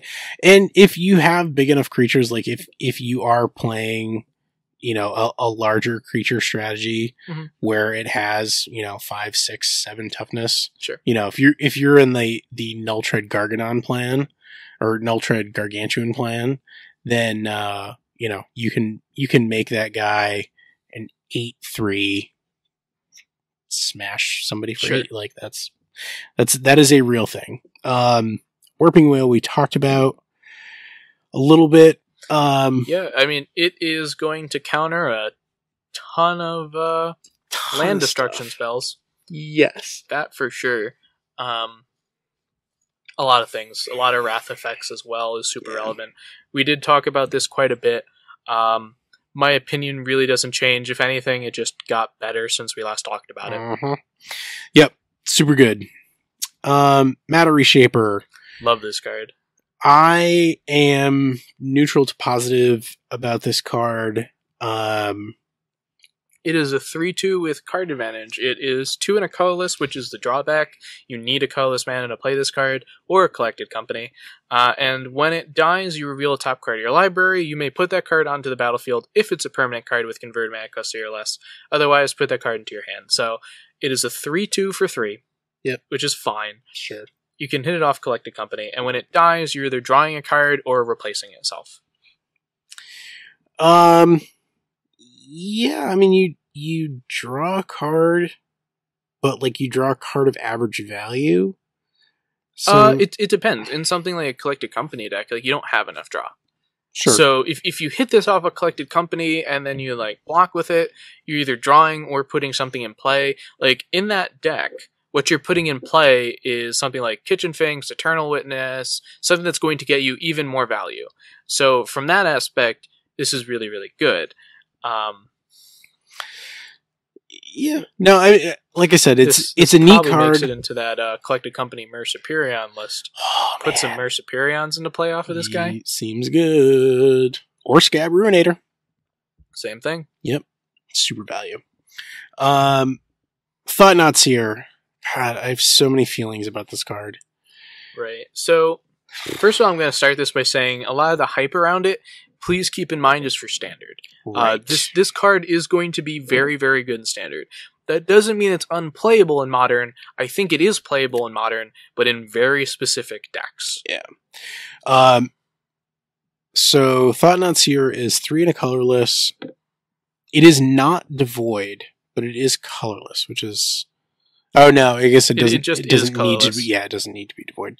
Um, when Thought-Knot Seer enters the battlefield, target opponent reveals his or her hand. You choose a non-land card from it and exile that card. So half Thoughtseize, half Castigate. Um, when Thought-Knot Seer leaves the battlefield, target opponent draws a card. Um, it's a four mana four four. Um, I initially thought that this was going to be like the slam dunk best card in the set for me and the types of decks that I like to play. Um, I think that it for modern, I think it's like a borderline trap card for most decks. Uh, in the Black X Eldrazi decks, it's real good. And Tron, it's really good. Right. So the the thing is, it's really good in situations where you're trying to have your opponent not have a specific type of card. So in Tron and Black Eldrazi, you're looking for uh, Crumble to Dust, Sowing Salts, Molten Rains, that sort of thing. Right. Whereas in the type of decks you like to play, you're looking for more of quantity over quality and discard. You're not looking for your opponent to well because the answers people are bringing in against your deck are not really as relevant and powerful as they are against the Tron and Eldrazi decks. Right. Like you don't want to play Thought-Knot Seer and take a threat because the card that they're going to draw off of Thought-Knot Seer might just be another threat. right. Whereas the Tron or Eldrazi deck that's making their opponent get rid of the uh, Crumble to Dust, they're probably not drawing another Crumble to Dust off of their Thought-Knot Seer. right. So that's that's where the distinction comes into play for me. Yeah, uh, and and it is it is one of those things where like it is risky. You you're essentially forcing them to trade the best card in their hand for an unknown card Right. of you know presumably average value, unless they're randomly playing some terrible card that they could draw. Um, so in that sense, it is good, but it is not as good as you know just a straight up you know discard spell. I feel like the fact that th- most people aren't going to be able to kill this that easily is also really relevant. Like you can't bolt this creature, so they're wasting a good removal spell on it. So I think most of the time, the thing they are drawing is going to be worse than the card you took and the card they wasted killing it. yeah, Unless they have something like a Tasigur or Tarmogoyf in play. Like if they're not just killing it in combat and they're wasting a card on it, sure. they are using two cards to kill your one card and draw a card. And I think in that sum, most of the time the card's going to be worse. So I feel like this is main deckable even in especially very specific decks where you're looking to get rid of a specific thing. Yeah. Um, I'm I am glad that I pre-ordered them for like two or three dollars, and now they're worth like fifteen. So Yeah. I'm just gonna flip my set. I mean, I love the art. Like that's the other thing. I love the art. I love the fact that the name is a pun, and that makes me really, really happy. um, and the fact that it's a four four. Like it's not completely unplayable. Um, it's just not like It doesn't go into a bunch of decks, yeah, which is it's, what it's not everything that I wanted. I was I thought about it, and then I thought not. All right. Uh, and I think the last one. no we- reaction. No. Did you're I- just gonna let no. it slide, huh? I am. Um, um, I am ready to move on to Get our a- last colorless card of Get. Kozilek. Get a pass, just like Milton Brawl. um, I had a card. Kozilek. All right, all right. Uh, go ahead. Talk about Kozilek, and then we'll go back. I'll talk about Reality Smasher. No, we're not talking about Reality Smasher. I'm talking about Reality Smasher. I have been arguing on the internet with people about Reality Smasher for the past three days. I am talking about. I will use this platform to discuss All right, then talk about Reality Smasher first. Okay. Reality Smasher is dope. I'll go to the bathroom. I'll be right back. Ah, wow, man. no, go ahead. I, I'm Go ahead. No, no, no. I no. I leave me alone with the microphones. That's fine. No, No. Reality Smasher is interesting. okay, so Reality Smasher is four in a color list for a five-five trample haste. Whenever Reality Smasher becomes the target of a spell an opponent controls, counter that spell unless its controller discards a card. Unless they don't have any cards to discard, in which case he is functionally hexproof. Um, unless they draw. So here's here are the things that can kill him. Um, Every Wrath effect, every wrath effect, um, every Edict effect. which are very rare. Liliana appears in 14% of decks. I feel like I can probably dodge that. In in a Now dis- you can. in a discard yeah, in a discard based deck, which is what I would play this guy in.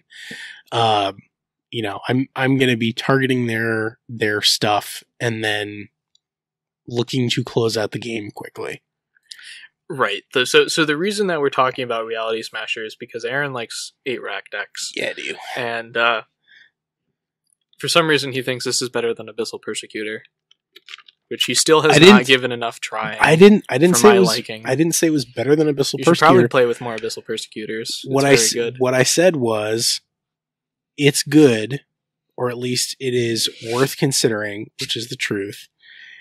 And like I'm not saying it's the world's greatest thing. I'm saying No, I, like in a deck where you're going to keep people on 0 to 1 cards, right.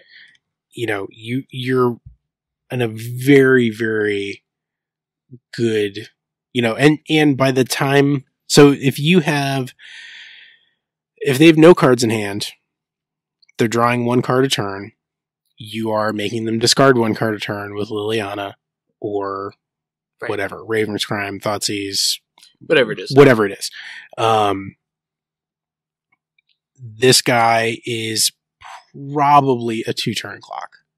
Um, and he has haste because you've got, you know, like maybe a rack, rack and a shrieking affliction, but every draw step that you let them have, you're giving them the possibility of drawing out of it. Mhm. And that was one of the things that I always had a problem with um, when I was playing eight rack is I would get to the point where I'd be like, okay, got this locked up. And then it would be like, well, I just, I needed to kill you a turn earlier. You Right. know, they, they drew into something that I couldn't answer. And I was like, oh, well, if I killed you last turn, then this wouldn't be an issue now because I would kill you next turn if you didn't have the thing. And that happened to me a lot. So I, I had been looking for ways to, you know, shore that up. Um, I mean, Nixithid obviously is, is very good, but Right. It's still all of the options essentially come down to you give them one draw step to win to not lose, and sometimes they're going to get there. Yeah. And this further decreases that, if not eliminates that. Yeah. So. No, I, I'll, jokes aside, this should definitely see some testing. Mhm. Uh, I don't know where we'll end up, but I mean, Yeah, and I- hey, maybe nowhere, but the the podcast has a name for a reason. Correct. You can tune in every other week to Yeah. hear all the latest eight rack news and black, white, smallpox. and black white smallpox. Um, I, But- I don't think he goes in the smallpox No, but I don't think so. all right. So talk about Kozilek. He's Uh, I mean, he's Kozilek. flashy and My my uh, comments are actually very very short on Kozilek. Uh, it's a new toy for the big Eldrazi and Tron decks. Uh, when you cast Kozilek the Great Distortion, if you have fewer than seven cards in hand, you may draw cards equal to the difference. So you refill your hand. It's a 12-12 with Menace, so it's hard to block. And you can discard a card with converted mana cost X to counter a target spell with converted mana cost X. So you play this card, and you're pretty much shoring up the fact that you're winning the game. yeah, The problem is, I still don't like this as much as Nulamog, no, as far as like the shiny new toy for Tron uh, or Eldrazi. Uh, I don't like it as much as Nulamog. I don't like it as much as Ugin, the Planeswalker. right. So I don't know. People will try it. Fine, you should. It's a cool card, very flashy. You will probably win if you resolve it, but I feel like there are better come from behind cards Yeah, like Ugin and Ulamog, and I feel like coming. F- Kozilek is almost better if you're ahead. If your opponent doesn't have a board state, if your opponent, well, basically that. If your opponent is ahead of you, Kozilek is not as good as Ulamog or Ugin. yeah. Well, and he like menace is not as good as trample. Unless, No, and because like I can still like I can Ulamog chump, can be I can chump blocked, and you'll still lose the game because it exiles the cards, right? right. So, Ulamog, even if you have three Lingering Souls tokens, you're going to die. Kozilek, if you have three tokens, you'll probably be able to find a fourth blocker, and you'll live for those two turns that you wouldn't have lived with Ulamog. Right. So, I, Yeah, and the like the counter is fine. well, once again, it's good if you're ahead. Like, it, Yeah. this is taking you from a position in which any other large colorless creature would probably let you win the game, right. and guarantee you win the game, but I'm more interested if I'm playing Tron in coming from behind. I want to be able to kill the 12-12 souped up slippery bogle and not have to worry about countering spells or drawing a couple more cards. I'd, Yeah. I'd much rather resolve an Ugin and Ulamog, yeah, something like that. and I will greatly relish doomblading these guys. Yep. Um. So Yeah, I mean it's like I said, it's it's fine. It's gonna be real good and standard. Uh, like I said, people will try it. That's fine. They should. Um, I I don't think it's as good as the other options. no, I, I don't think so either. I mean, I would even I would I would probably play Butcher Truth over this. Um. So we have uh, a couple lands. I think we both had uh, corrupted crossroads, Yep. which is basically City of Brass, sort of. Uh, so it taps for colorless, which is cool. That's going to be relevant in these new decks, and then you can pay one life and tap it to add one mana of any color, but you can only use that mana to cast spells with devoid. So it's basically casting any of your colorless spells for any mana. So if that's something you're trying to do, this is just really good. Seem seems seems very good. Um, I had crumbling vestige on there. Um, if you are trying to get colorless mana sources into your colored deck, and you are playing a deck that can actually no, it doesn't even matter. Um, so crumbling vestige uh, enters the battlefield tapped. When it enters the battlefield, add one mana of any color to your mana pool, and then you can tap it for colorless. Um, I like this a lot just as a as a colorless enabler, um, because it it has functionally no downside. Yeah, the downside's very limited. Um, in limited, uh, I would like second, third pick this card. Sure. Very, very good. Just, just as a side note, really. Um, def, real overperformer in this set. Mhm. Uh, it is cool. I don't know how much play you need. That's kind of like why I like the Corrupted Crossroads. Yeah, Uh, Corrupted Crossroads just does works really, really well uh, if you're trying to enable colorless and also produce colored mana for your devoid stuff. It. Um, the manlands, I guess we can kind of group together: hissing quagmire, Yeah, I'm, needle I'm- spires, and wandering fumarole. uh, I'll be willing to group them together. I think Wandering Fumarole would have seen the most play. Uh, regardless, I still think it's the best because it is one that just, man, you might not be able to. You can pretty much always guarantee it lives. Uh, you might not be always able to trade like you can with, for instance, Hissing Quagmire, which is green black, so obviously has Death Touch. Needle Spires has Double Strike, which means it's pretty good, but Wandering Fumarole, it is a blocker when you need it to be. It is a four damage creature when you need it to be. Mhm. Uh, in standard, Needle Spires is probably the best, but in modern, of the new manlands, I like Wandering Fumarole the best. Yeah. Uh, I would have liked it more if the like activation cost was just one less. But- sure. The fact that it will never die to bolt, it will never die to a one powered creature. Yep. Or well, anything but a four powered creature Mhm. is really really good, and it will never trade with a one toughness creature, Right. or well, it'll never die to a one Right. toughness creature most Yep. of the time. Um, so they are they're they're good if that's what you're looking. If, They're not as broken as the original ones. They're Yeah. not Celestial Colonnade and Raging Ravine good, but Right. that's, that's I I would say they're like stirring wildwood good.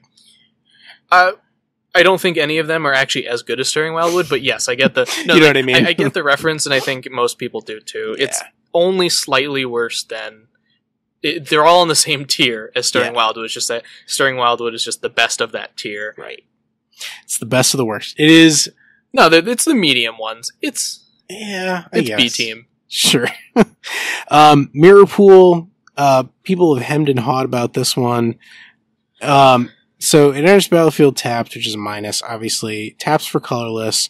Um, you can pay two and a colorless and sack it to copy target instant sorcery spell uh, that you control, and you choose new targets for the copy. Or you can pay four and a colorless and tap it, sacrifice it, put a token onto the battlefield that's a copy of target creature you control. Um, God, where do I, I even think start? most of the hype around this card was an EDH. Because this is just an EDH powerhouse and it goes into literal every deck. Because pretty much every EDH deck is already running Reliquary Tower, Sol Ring, and Mana Rocks. Yep. So you already have enough ways to generate colorless mana. Cards like Mirror Pool, where they only need one colorless activation and it can be done late game, are really just instant slot in. So because it's a mythic and because it goes into pretty much every EDH deck, that's why this like card has skyrocketed in price and excitement level. Yeah. Um, in modern, I think this is terrible. Yeah, I, I didn't see any talking about this in modern. I, it was not even on my modern radar. Yeah. Um, Sea Gate Wreckage, um, it comes in untapped, which is nice. Uh, taps for colorless, and then it has uh, two and a colorless tap draw card. Um, activate this ability only if you have no cards in hand. Um, I mean, I think it does go in certain decks. Um, you know, like decks where you're going to be playing out your hand very quickly. Um, so like affinity as, you know, maybe Thoughtcast three or four. Cause how many thought they, they only run like three Thoughtcasts, right? I think like three. I don't know if they actually need Sea Gate Wreckage. Like, I'm pretty sure Affinity probably just wants to be as fast as possible now. Um, so, I mean, you could play this in. Woof. I don't know. I mean, you could play an eight rack; it'd be pretty good, actually. Just throwing it out there. not at all. I, I don't like this card for modern. Once again, I think Sea Gate Wreckage is seeing a lot of hype because of standard and EDH. Yeah. I like it a lot in both. Um, and then I, I did want to just sort of touch on wastes as the basic land that produces colorless. Um, we are going to see a lot more Blood Moon in modern, not just, not even because it is actually the answer. It is that people think it's the answer. and so it's just naturally going to see more play. There's not even a lot of decks that can support Blood Moon right now, though. Yeah, Stoneforge Masterwork Goblins, Blood Moon all day. We shall see. Yes. Um, so let's talk about the the banning and the restricting. Um, Alright. There will no longer be the Cloud of Faeries. It's fantastic. yeah. You no well, longer have to sit for hours on end. yeah. Cloud of Faeries in Pauper was really really jamming up my modern games. It was. We'll only talk about it for the next 30 minutes. So no more Splinter Twin, no more Summer Bloom. Um, I mean, the, obviously, uh, surprising no one, Summer Bloom is banned. Um, Right. I am very glad that Summer Bloom got the axe and not Amulet of Vigor because it means that Amulet can still be used to make neat decks someday. I feel like the same thing can be said for Summer Bloom, though. Like I said, the poor green white Summer Bloom ramp guy. sure. Uh, I think Summer Bloom was easier to use. I think that's also the reason why they banned that card in particular. Well, that's it. It breaks. It, it breaks several things. I think it is the more abusable card. Right. Well, it it breaks. Right. One of the fundamental rules of Magic is each player plays one land per turn. Right. So there are cards that let you break that rule sometimes. So rampant growth, Right. explore, you know, like there's plenty of those cards. Those are all also cards that the land has to come into play tapped. Right. And they also limit themselves. Like Rampant Growth is only a basic. Yep. Sakura-Tribe Elder is only a basic. Mhm. Like those cards are definitely you're not playing more than one land that very turn a Right. lot of the times. So Summer Bloom was very unique in that aspect. Yeah. So now you are left with Azusa, so who allows you to play two lands, but um, Is a body and cost three. is a body, costs three, is legendary, Right. and dies to literally anything. Right. The deck, talking to enough Amulet Bloom players, the deck is not playable with Summer Bloom or Amulet. Right. Uh, so if either of those cards got banned, the deck would have been dead. Most players of the deck knew that. A lot of players thought it was going to get banned eventually. It's not really a surprise to anyone. We've been talking about it well for a while. Everything we said is still true. Yep. Surprise to no one. Great. Um, Splinter Twin was um, a surprise to many. Um, Well, no one expected it. It's not to say people didn't want it. No one really expected it to be banned, especially now. right. The, so, the timing was very weird. well, the timing is weird.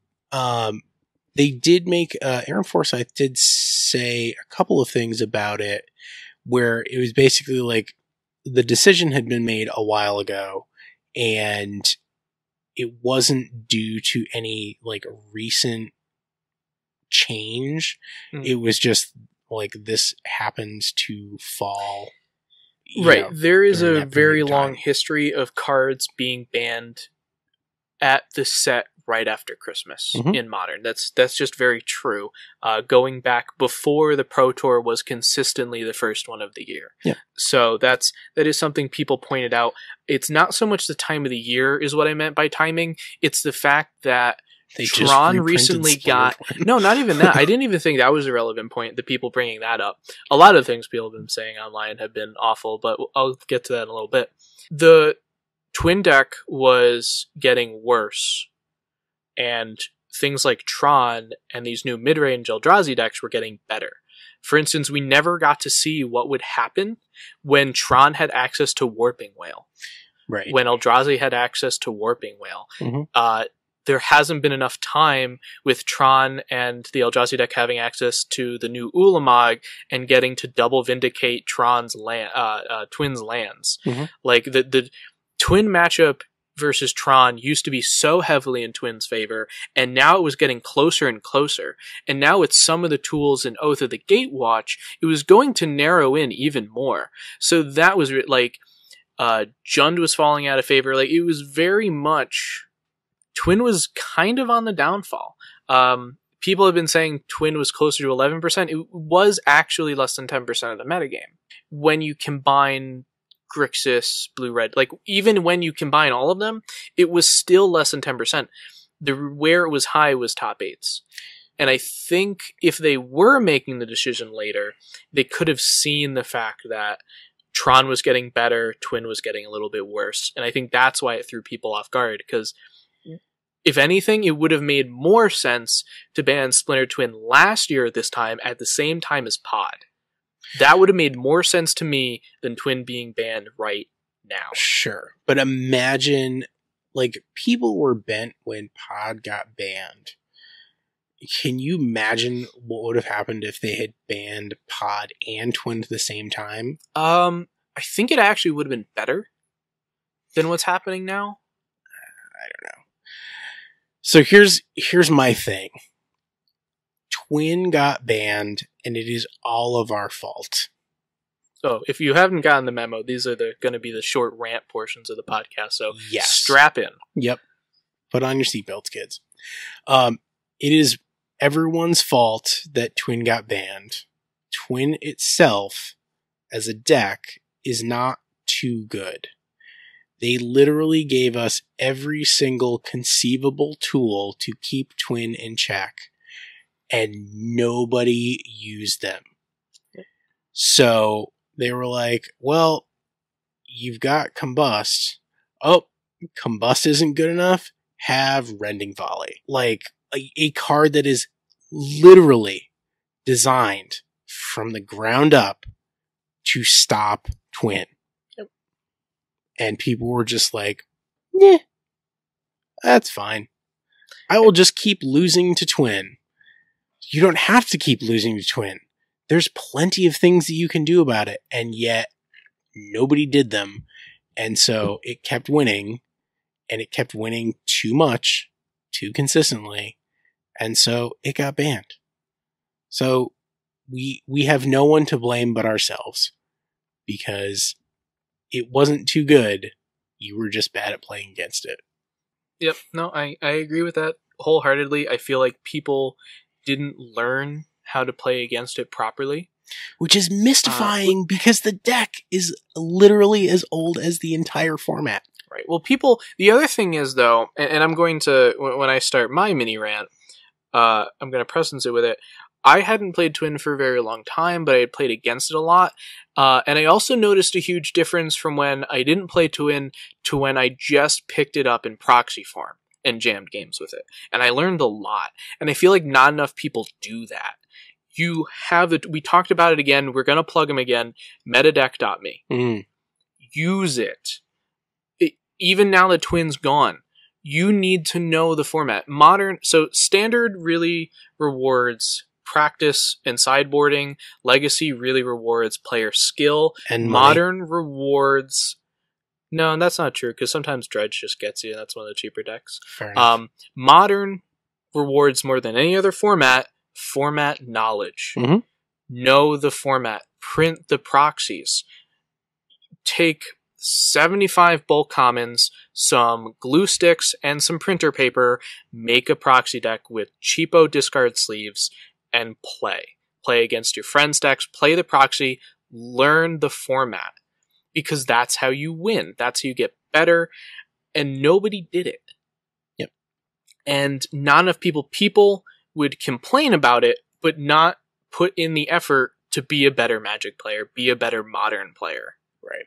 and that would have helped more than anything that's why a lot of the people who do well in tournaments that have been vocal on twitter have been the most surprised at the twin banning and the reactions have been very different than the mass reaction on twitter facebook uh, all the social medias and reddit don't consider them a social media.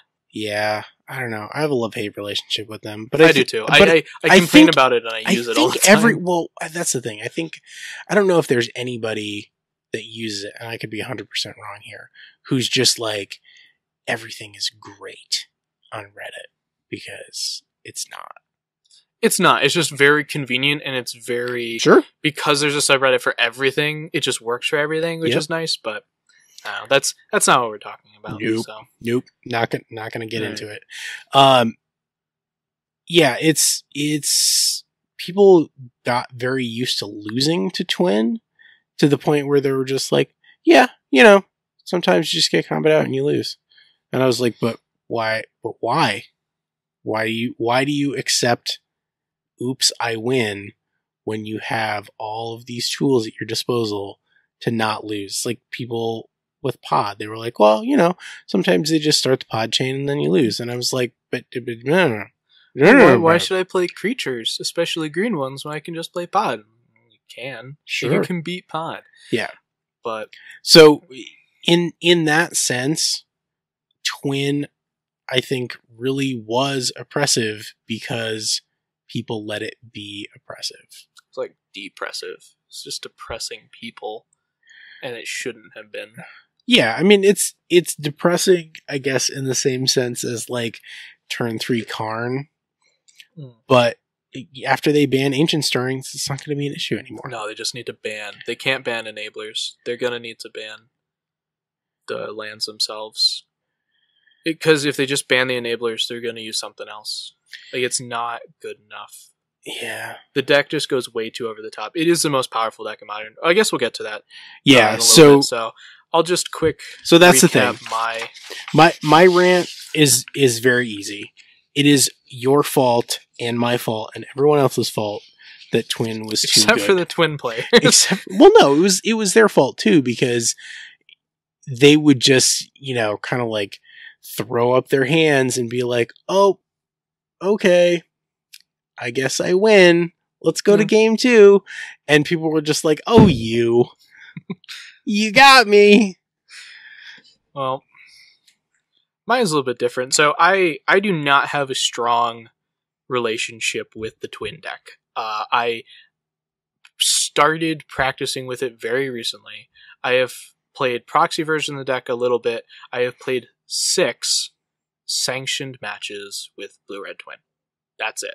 Okay. I am I am not a huge fanboy of the deck. I haven't played it for years. didn't you play Grixis twin for a little while Uh oh yeah, I did for like one that one I- event That was barely, uh, I guess two events. I played it in an open trial and then I played it in a PPTQ. Literally all like in the same four day period. right i Uh, remember that and and I didn't even like. I didn't enjoy the Grixis version as much. Hmm. Uh, it was it was more of a mid range deck that had an emergency button, and that's how I played it. yeah It was mostly just throwing out Tasigurs, which I enjoy. Mhm. Um, and that just kind of goes to show it. Like I much more enjoy playing Jund, Junk, those style decks to Twin. So where I'm coming from is not as someone who really loves the Twin deck. That being said, uh, I was very surprised to see it banned. I didn't think it needed to be. Uh, I do think that in the long run, it will be correct. Sure. Uh, I, I do agree with the fact that Twin took away diversity amongst blue decks, but the only reason it took away diversity amongst blue decks was because blue decks can't beat all of the aggro decks and all of the Tron over the top big mana decks without an emergency button. So the problem isn't necessarily Splinter Twin, it's the other it's the format as a whole. And when you approach the problem as the fact that it is just Splinter Twin, like the metagame is much more complex. And when you approach the metagame like this, you end up at the Chris Pikula way of banning, which is actually one of my favorite quotes from a Magic Professional. Uh, this was a long time ago when Necropotence was big. a long A time, long time ago, ago. but it's still one of my favorite quotes to this day. when i was in high Uh, school basically after it started declining uh and the format was embarrassingly degenerate chris Pikula said well it's simple just ban everything until necro is good again and then ban necro and the format solved and by banning splinter twin and pod this last year and this year i feel like that's the path wizards has gone down and now they're stuck on it. And they've opened Pandora's box, and next year it's going to be the Urza lands. Uh, and after that, we start getting closer and closer to the final goal of what modern should quote unquote look like. Uh, when Well, With- next next year is going to be Goryo's Vengeance. I don't think so. I do. Um, I, I think the Urza lands are a bigger problem, and here's why. The Urza lands completely dominate the top end of the format. You cannot play an over the top Dirtle deck that is as powerful as Tron. Tron is just always going to have the inevitability on you. Sure. And there's the problem. You don't get to play the fun do nothing decks. And if you even come close, you also like lose to the aggro decks. It's very, very difficult for a deck in modern to be able to outgrind and beat the late game of Twin and also be able to stabilize the early game against Infect, Affinity, and Burn. And that's where people have the problem, and that's why blue decks needed Splinter Twin as an emergency button. It was the only way for them to play a f- quote unquote fair game for the first three turns, and then somewhere between turn four and ten, win the game. Because most people also quote, and, and this is where the rant was actually supposed to go, and I'll get to it. The online fallout, I guess, was actually what I hated the most about the Splinter Twin ban. Like I said, I think it was the right move. Splinter Twin was oppressive. It's it, like they said, it stopped diversity, and it does. Mhm. But because the top end of modern is currently Tron, and no one else comes close to it, it's gonna be hard for decks to fill that role, and a lot of unforeseen consequences are gonna happen. Mhm. But I think a year and a half from now, it'll be better. If that makes any sense. Yeah. Well, if if the if the Eldrazi deck becomes the big mana deck, and they do ban the Urza lands, I feel like it's easier to combat the Eldrazi deck though. Oh, sure it is. Yeah. Yeah, it's it's much easier because they don't have twelve copies of Eldrazi Temple. Right. So I, I feel like if Eldrazi is like the top end big mana deck, I think that's on like now something like Blue White Emeria can join that, Eternal Command can join that, Mhm. and now the mid range opens up again because uh, Esper Geist, Jund, Junk, Jeskai, good stuff. Those now all can switch hit between the aggro and the Eldrazi and late Yeah. game blue deck. So that's where I think the end goal is, but mostly just everyone online. People did the people who play complained about Twin the most never picked up the deck. And that is just completely true. And I know part of this and why I was so upset about it was the fact that most of the stuff that I looked at was on Twitter Hmm. and Reddit comments, and those aren't necessarily always They they don't have a lot of context. They don't have a lot of context, and that's what is really dangerous about a lot of this and what you say online. Mhm. Um, the thing that probably disappointed me the most was when Pod was banned. People were like, "Yeah, this makes sense," but they were also sympathetic. There was none of that with Twin. Hmm. There were people like high fiving in the streets to these people. And like as a community, that's just awful. You should never be doing that.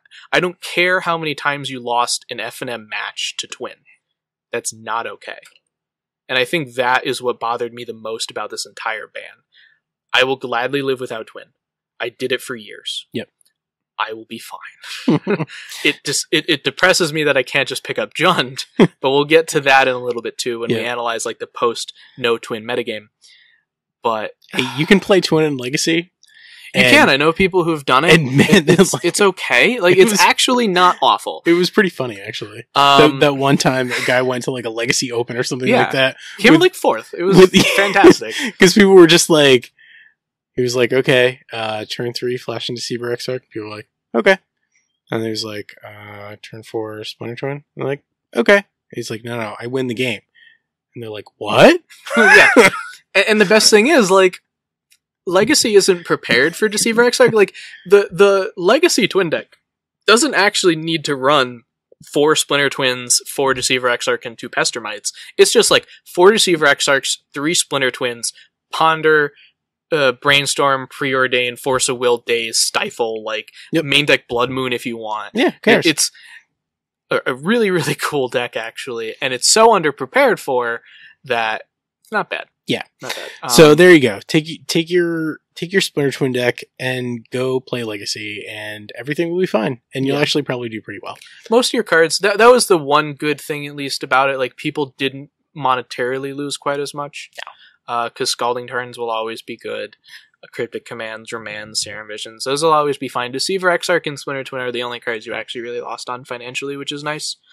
Um, Yeah, and Deceiver Exarch was like three dollars, and Twin I think at its peak was like fifteen or twenty. Uh, it, it was um at, at its actual peak probably like twenty five. Okay, sure. Um, because I was looking at getting them for a while, and playsets were between eighty and ninety five, depending on where you're getting them in condition. Right. I finally picked mine up when they announced the Modern Masters 2015 versions, okay, and I found an eBay seller that was just getting out quick.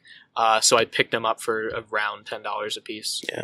Uh, give or take a quarter. So Well, it's yeah. I, I don't buy the the money argument. No, that's that's fine. No, like like I said, I think it was more so like the deck really wasn't as oppressive as people make it out to be. It was never oppressive. It was more so suppressive. It stopped diversity in other blue decks, but at the same time it awkwardly encouraged it. This is a pretty good segue into what the modern metagame looks like after the bannings. It enabled some of the other blue strategies. Um, I actually have when I was preparing for this episode, I came across a very good comment that was exactly something that I wanted to say, but it just did it so well. I'm just going to quote the person. Uh, so this is Reddit user GambleCat, spelled with a K. Hey, what's up, Gamble Cat? This was in response to one of the many Reddit threads I was like, now that Twin is banned, what brews are now viable? No, I don't see a single deck in Modern that was unviable because of Twin that isn't held back by the other top tier decks. What did Twin ask of your deck? That it had instant speed removal. How many decks were just waiting for an opportunity to run sorcery speed removal for their big breakout? It doesn't really matter if some janky brew couldn't beat Twin because it still can't beat Affinity and Tron. Between them, they now have the low and high end neatly sewn up. If anything, it gets harder because you can't depend on Twin to let you skimp on Affinity hate anymore.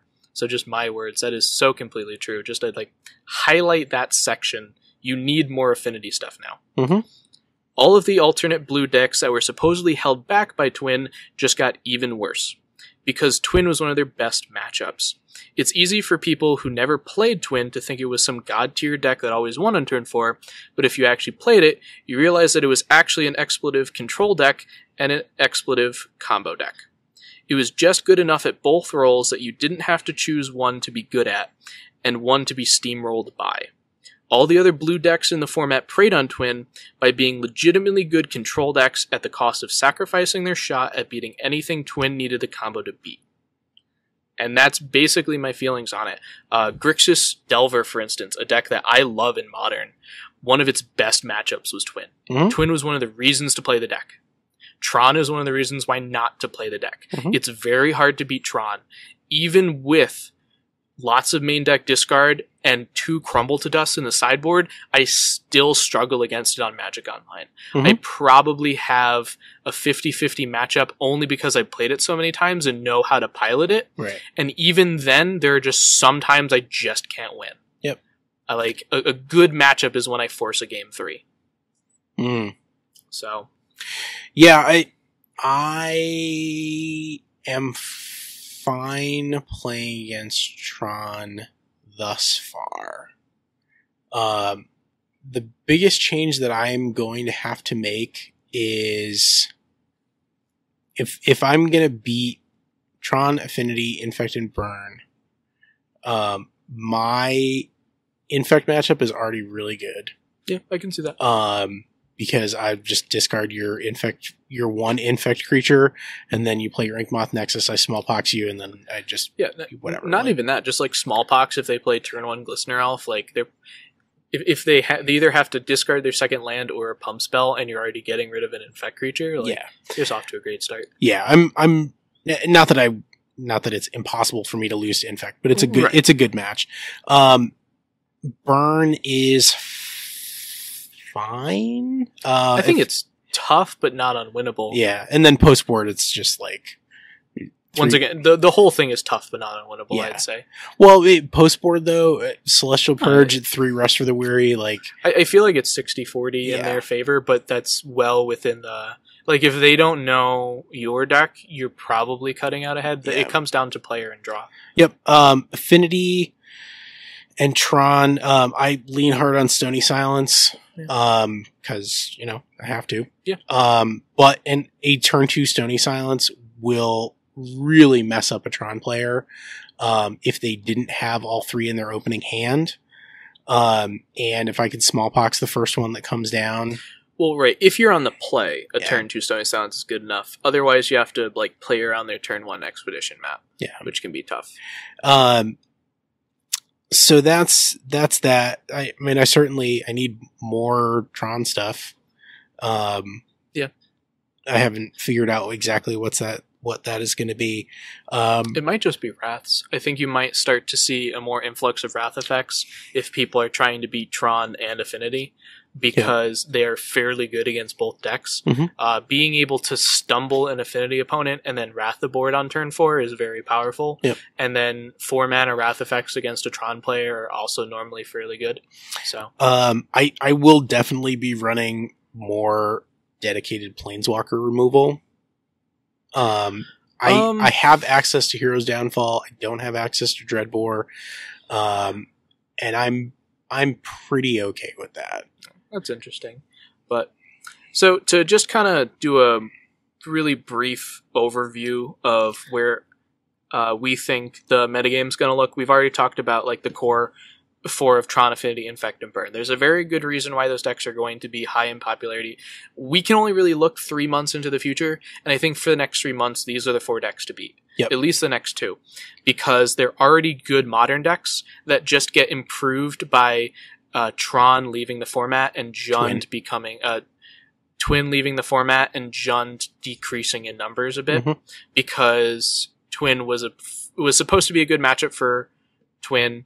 Uh, Twin was supposed to be a good matchup for Jund, and Jund preyed on the other mid-rangey decks, Mhm. and those are kind of going away now with Twin gone. So Jund decreases too, and Tron being an awful matchup, Jund kind of decreases. So those four decks all probably benefit the most. Yep. Uh, decks that I also would kind of want to add to that, Scape Shift, I think, is going to crawl out of the woodworks. I would I would put like Scape Shift and like Titan Ramp, Valakut, you know, like any any of those kinds of decks um that are sort of have non creature non like like Valakut is a win con that is accessible through a number of decks. Um but it's fairly straightforward to take care of. Uh, sort of. I like the actual dedicated Scape Shift combo control deck the most here because it has the tools to make both Tron, Affinity, Burn, and Infect stumble. You have all of the remands and Izzet Charms Mhm. To make your opponent stumble in the first turns because really Scape Shift is trying to ramp and win on like turn five, and now Scape Shift can reliably combo faster because of the low amount of interaction currently in the format. So you get to make a much faster, greedier Scape Shift deck. Hmm. Uh, and, and you're just now winning on turn five, which is fast enough for Tron if you make them stumble, fast enough against Affinity, Infect, and Burn if you make them stumble, which between uh, Izzet Charm, Mana Leak, Remand, and eventually Cryptic Command and whatnot, you're going to make them stumble. Yep. You have chump blockers with Sakura-Tribe Elder. You, you're off to a very, very good start. So I really like the Scape Shift combo control deck. Well, and we'd talked about that previously. Yeah. Um, you know, when Pod got banned, Mhm. we were like, okay, well, Rhinopod is the best deck. Rhinopod got banned. Like, what? What's the next best deck? You know, Scape Shift was like one of our picks to be yeah, to Scape be a Shift top was deck. definitely one that could have gotten there. I think with the prevalence of Twin and especially Grixis, yeah, uh, it it was very difficult for Scape Shift to beat Grixis. Yep. So I think that was kind of that downfall. So I expect it to come back. Um, the other kind of semi-linear combo decks and more combo oriented. Living End and Nauseam and Griselbrand, I expect to see a resurgence just because now, once again, the interf- the the format's becoming less and less interactive. Uh, Living End and Nauseam and Griselbrand uh, can all pretty much beat the top four if they want to. Yeah. Uh, so I, I expect to see that as well.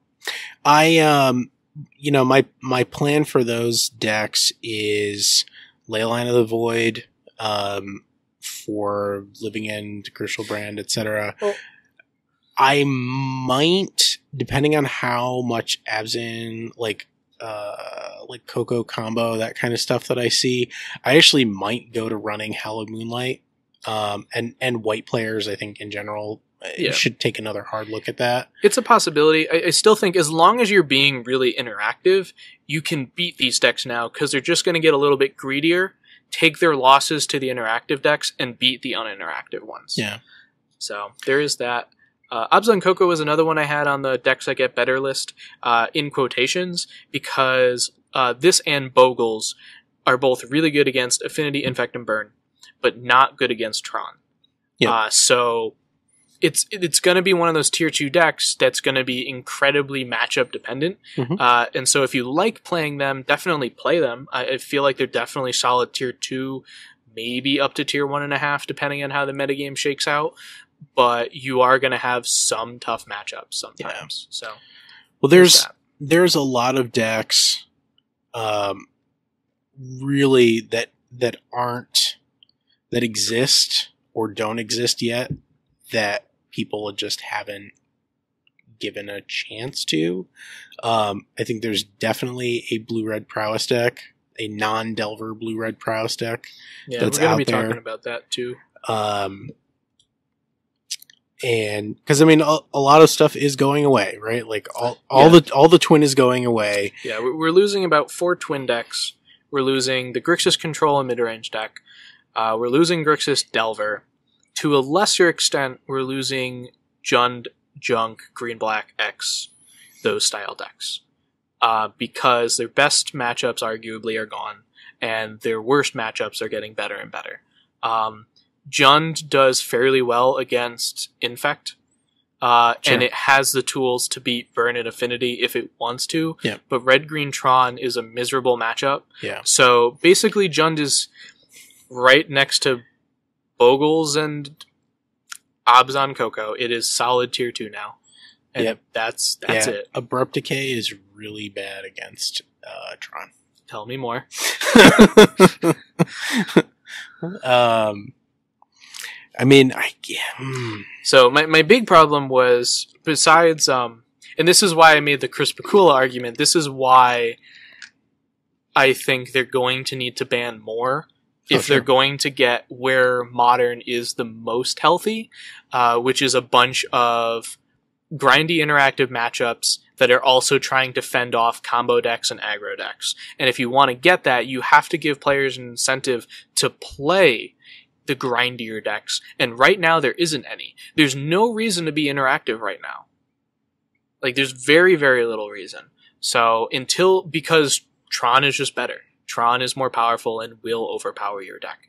So until the top of the metagame, like top late game wise, uh, is nerfed a little bit, there's not an incentive to be an interactive mid range deck. And that's why we're losing so many decks in modern right now, just with the one card band, And it's not even in most of these decks. right. So, and the goal is to then have more diversity, more blue of these fair decks. I just gave all the reasons why I don't think we'll see them right away, but I, I think there's something possible eventually. Um, so new new decks on the horizon. Um, you would put down um, Esper Geist. I played against this recently. Yep. I was playing Blue Red Twin against it. Uh, he go? lost hard. Yeah. But without, and he told me that too. He was like, yeah, most of the deck is in here to, like, he was running uh, Geist of St. Traft, Tidehollow Sculler as the main creatures. Okay. Uh, so lots of disruption, cool creatures, efficient threats. Um, he was running the Lingering Souls, a lot of main deck discard, a lot of remand mana leak stuff. He was running one or two Elspeth Tirels as a token producer and as well as a finisher, especially with Geist. Yeah, yeah, Because Geist plus Elspeth is like a classic yeah, yeah. One two punch nine in the air. Uh, the problem is you don't get to play those threats against a twin deck, and now you don't have to worry about it. So I think Esper Geist really kind of displayed the possibilities that the ban committee was looking at. I feel like something like that, it's something that couldn't really beat Twin, and now it has a chance to exist, but I don't know if it's there yet. I don't know if it's fast enough for Tron. Um, It's it's very very close for this type of matchup. Tron only has to probably get a little bit worse. Like if you take out Karn or Wurmcoil or both, then it becomes okay because Tron's threats are worse. But yeah. Well, but that's so that that deck has access to um, hide and seek. well, it has access to Path to Exile and Wrath effects. Sure. Which which is huge. Um, the the idea is that Geist of Saint Traft is a very fast clock against a deck that isn't playing creatures until turn four and 5 Mhm. as long as you can mess up their first or second creature. Like if you can go turn three Geist, and then they f- uh, spend their next turn assembling Tron or setting up Tron for the next turn, now you get to just have a well-timed mana leak and remand for the next two turns to get in with Geist plus Angel and get them close to dead. So you can just kind of swing, uh, or you can path their first Wurmcoil engine and have them just gain through life and block ice and kill them or something. Yeah. No, I, I think close. I think they need to get faster. Like I think that deck, like if Esper Geist is is really gonna like do the business against Tron, I think they need to be probably more focused on discard to the point where they they may have to start like main decking surgical extraction. Um, That's so or like though. extirpate. I I play two extirpate in the main, But for- you're a dedicated dis- like for Magic deck. Online though. You don't have counter magic. That's the big thing. Hey, I can play uh Lapse of Certainty.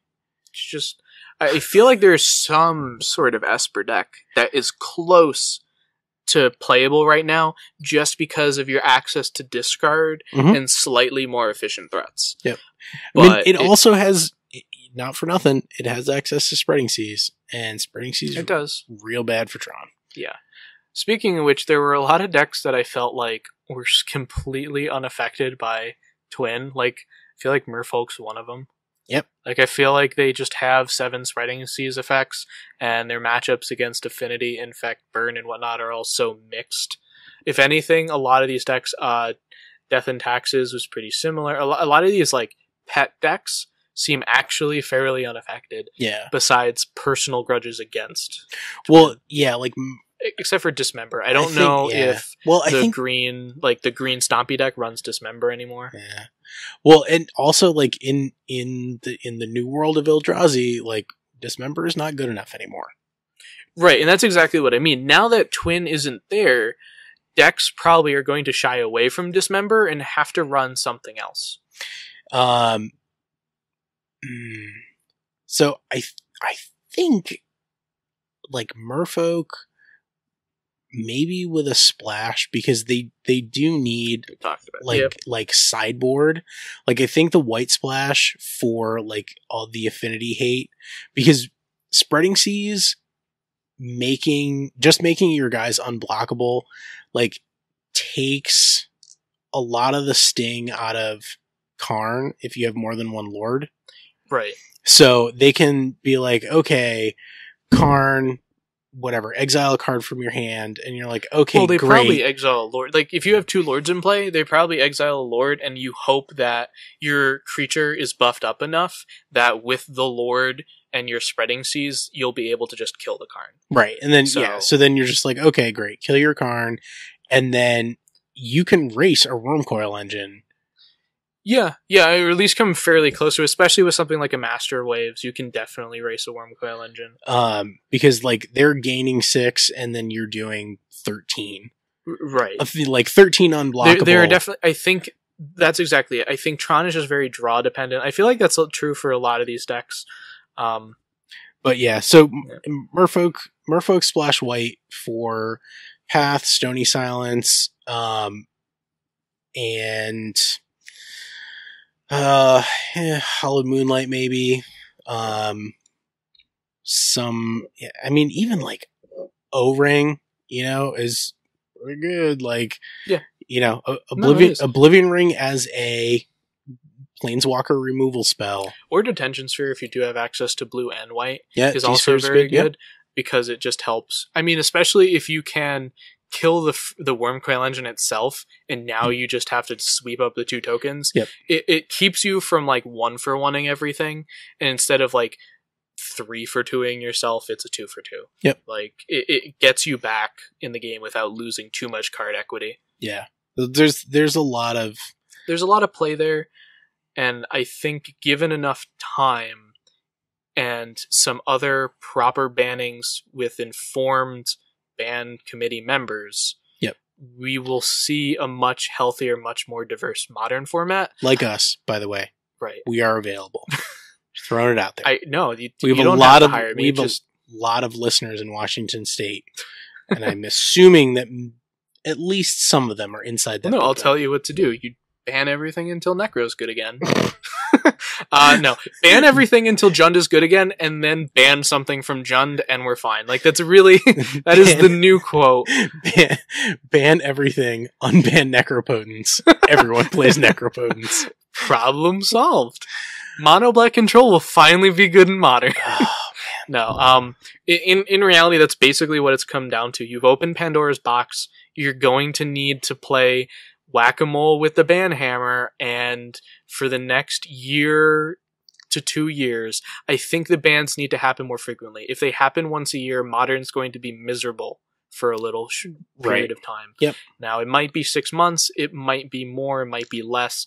The bans need to happen a little bit more frequent, yeah. but Well, and we did like we didn't have to live through an Amulet Bloom Pro Tour. Thank God. Like right. you know that's that's the Well, now the the worry really is And how many didn't to- GPs are just going to be we didn't have to live through another Twin Pro Tour.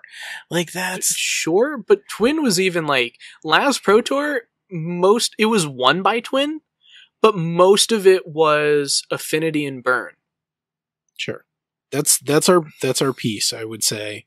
Um, we're gonna do quick quick Q and A um, for stuff that we didn't cover, but I feel like we covered a lot of it. We covered some. We're still going to read them out. Yep. So um, so Bill Morgan uh, said, uh, "Do you see bannings Lake Pod and Twin good for the format? If not, what alternative actions should we use to shake up the Pro Tour?" Um, like I said, long term, I think they're good. Um, short term, you know, people are going to be upset, and I not that they don't. People have the right to be upset. Like nobody likes to have a card from their deck banned. On the flip side, they the people that aren't playing on the pro tour are not under any pressure to like immediately pick up a new deck and learn it and have to buy Right. everything for it. I think one thing I actually forgot to mention is for most players, especially like if all you do is play modern at FNM or weeklies, you are very unaffected by this. Yep. Because unless your LGS is like hardcore only play the top tier that people play at SCG events and GPs and Pro Tours, people are going to keep playing the decks they've owned forever and enjoy. Right. Like the only people affected are the actual twin players. So for people that are just going to weeklies, I guess you don't lose to twin anymore with your weird brew. I don't know. Yeah, uh, there sure up your Tron mashup. yeah, I mean maybe. Like that's the thing. Uh, my our LGS already has an abundant amount of Tron for some reason. I I have gone to weeklies that were nine players. There have been four Tron decks. Like it happens. I've been at larger events where there are five or six Tron decks. Like Yep. it just it happens in our area for some reason. I've been prepared for this, so that's that. Um, So, Yeah, uh, alternative actions. There, the problem is the only other thing they could do realistically is try and enact like the restricted, like a restricted list for I- I don't modern, which I think- think is a slippery slope. I, I think it pretty much the the bannings, while maybe not good for the format as a whole, are how they fix the Pro Tour. And I think once again, once they go through, ban everything until Jund is good again, and then nerf Jund. Then you have, uh, and you don't even need to nerf everything. Like Infect is probably okay as it is. Uh, Affinity without Arcbound Ravager is probably really good, and then Burn might be able to lose something. Maybe I don't know if it needs to. Once you get the top end of the format secure and people start playing mid range decks, then it becomes heavy top end mid range decks versus much more middle of the road creature decks versus aggro decks, and the format becomes interactive again, and then that becomes more enjoyable to watch as a pro tour. Mhm. Like if you're gonna watch Jund versus green white aggro or uh, burn versus uh, like a tokens list. Those are interactive. There are lots of dis- little decisions going on. Mhm. That is what standard is kind of working out to be. Once the format becomes a lot of good stuff decks and more interactive again, now you have a format that's just good for a pro tour. Right. And we will get there eventually. Yes, and So- and also just good. Yeah. like that's that's the thing. If you want to play like degenerate combo decks, go play Legacy. Like it's great. it, you know, like play Show and Tell. Playing You- tournaments where you can just win hundreds of dollars for nothing. It's fantastic. Yeah, like if you if you want to, like I said, play dumb combo deck, play Sneak and Show in Legacy. Play Ant. Practice it a lot. You get to practice without a partner because you play Magic without an opponent too. It's great. Pass. That's Um, fantastic. No, I'm, Dark I'm Petition is the best. Oh, I love it so much. I'm sure it's great. I wish that it would go up more because I've got a bunch of copies of it that I opened in packs that are still. I know. I like, stalled so three late bucks. on buying Dark Petitions for my Legacy deck, and I was like, oh, it's only a dollar and a quarter. I'll just get. Yeah. Um, so yeah, there there are formats out there for people who want to do degenerate stuff, and Yep. modern is not that format. Yep. Um, sorry, not sorry. Well, uh, uh, that's the thing. I feel like modern should just be a more powerful interactive standard, and I feel like we're kind of heading towards there Mhm. once we get a couple of the overly powerful things nerfed a little bit. Yep. I feel like modern has kind of gone unchecked for a little too long, and we need to clean up a bit. right. So I feel like the bannings are good for the format in the long run if they're made with it by informed people that understand the modern metagame and they're done quickly. Like us. Right. Sure. Um, Christian B asks, bigger shakeup, pod or twin? Um, shakeup, I think probably twin. Yeah. Um, you know, disproportionate response, definitely twin. Yeah. Um, the the response to twin banning should have been the same as pod. Right. Well, the thing is, like, people really hated losing to Rhinopod, which was undisputedly the best deck. Right. Um, but like I said, people just become so accustomed to just like losing to Twin. They're like, oh, all right, buddy, good for you. So I, I say twin, no hesitation. Yeah. Uh, I th- I think, like I said, in the long run, both are going to be viewed as necessary. Yeah. Uh, the Hawk Report says, love the show. Hey, we love you too, man. Or lady. Um, can you do a bit on how you grow the modern community in your area? Would also love some deck ideas on a couple build around cards from Oath. We talked about some build around cards for We Oath. did. I actually starred them on our show notes. What? Uh, Kazul's troll, Coll- something troll collector. the equivalent Kazul's one. Toll Kazul's. Collector. My handwriting got messed up only on the K word, All right.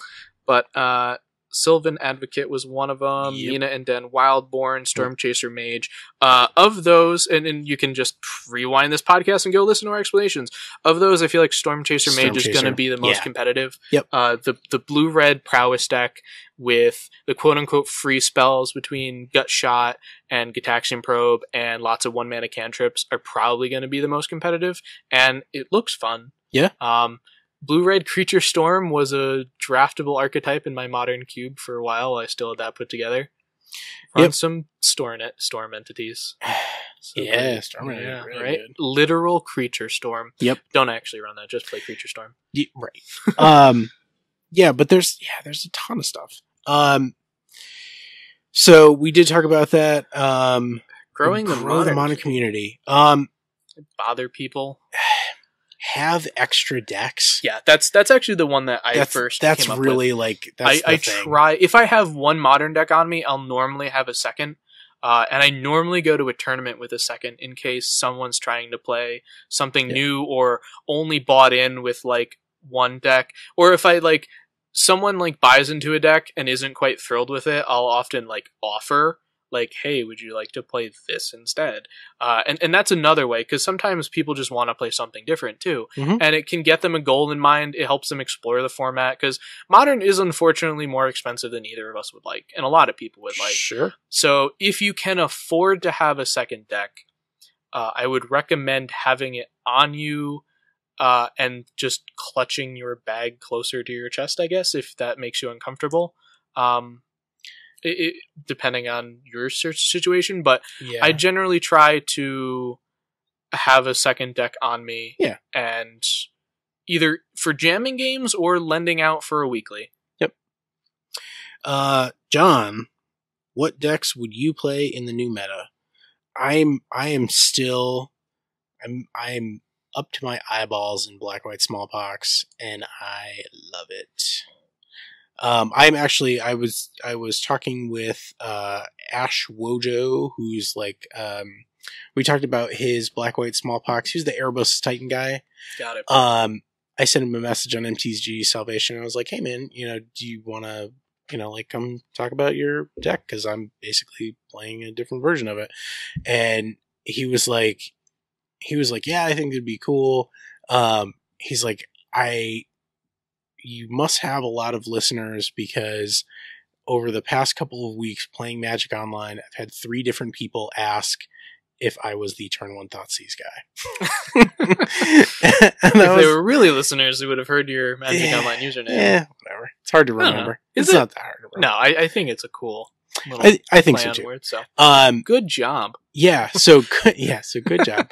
Um, so I'm I'm gonna record a segment, um, probably separate, and uh, we will include it in a later episode, Cool. um, just um for for timing reasons. Yeah. You know, like trying to get people's schedules to line up is great. It's hard enough to get our schedules to line up.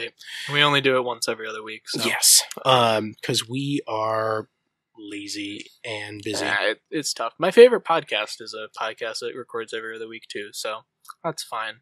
good on them. Yep. Um yeah, so I'm I'm gonna continue to play Black White Smallpox and um because it already has some kind of some some built in play versus a lot of the decks that are going to be like the new tier one. Um like it's great against combo decks because it has Right. a lot of disruption. It's you know good against infect because Yeah, I feel like Infect is probably your best matchup of tier one, and it's Um, not down and out against any of the yeah. rest.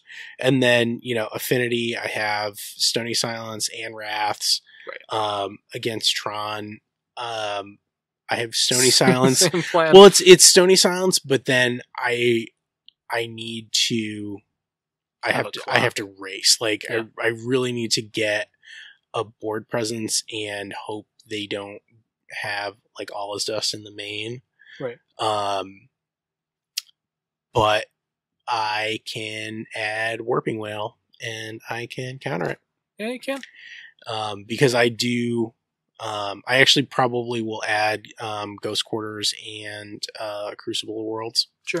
Just you know, just just in case, because you never know. Yeah.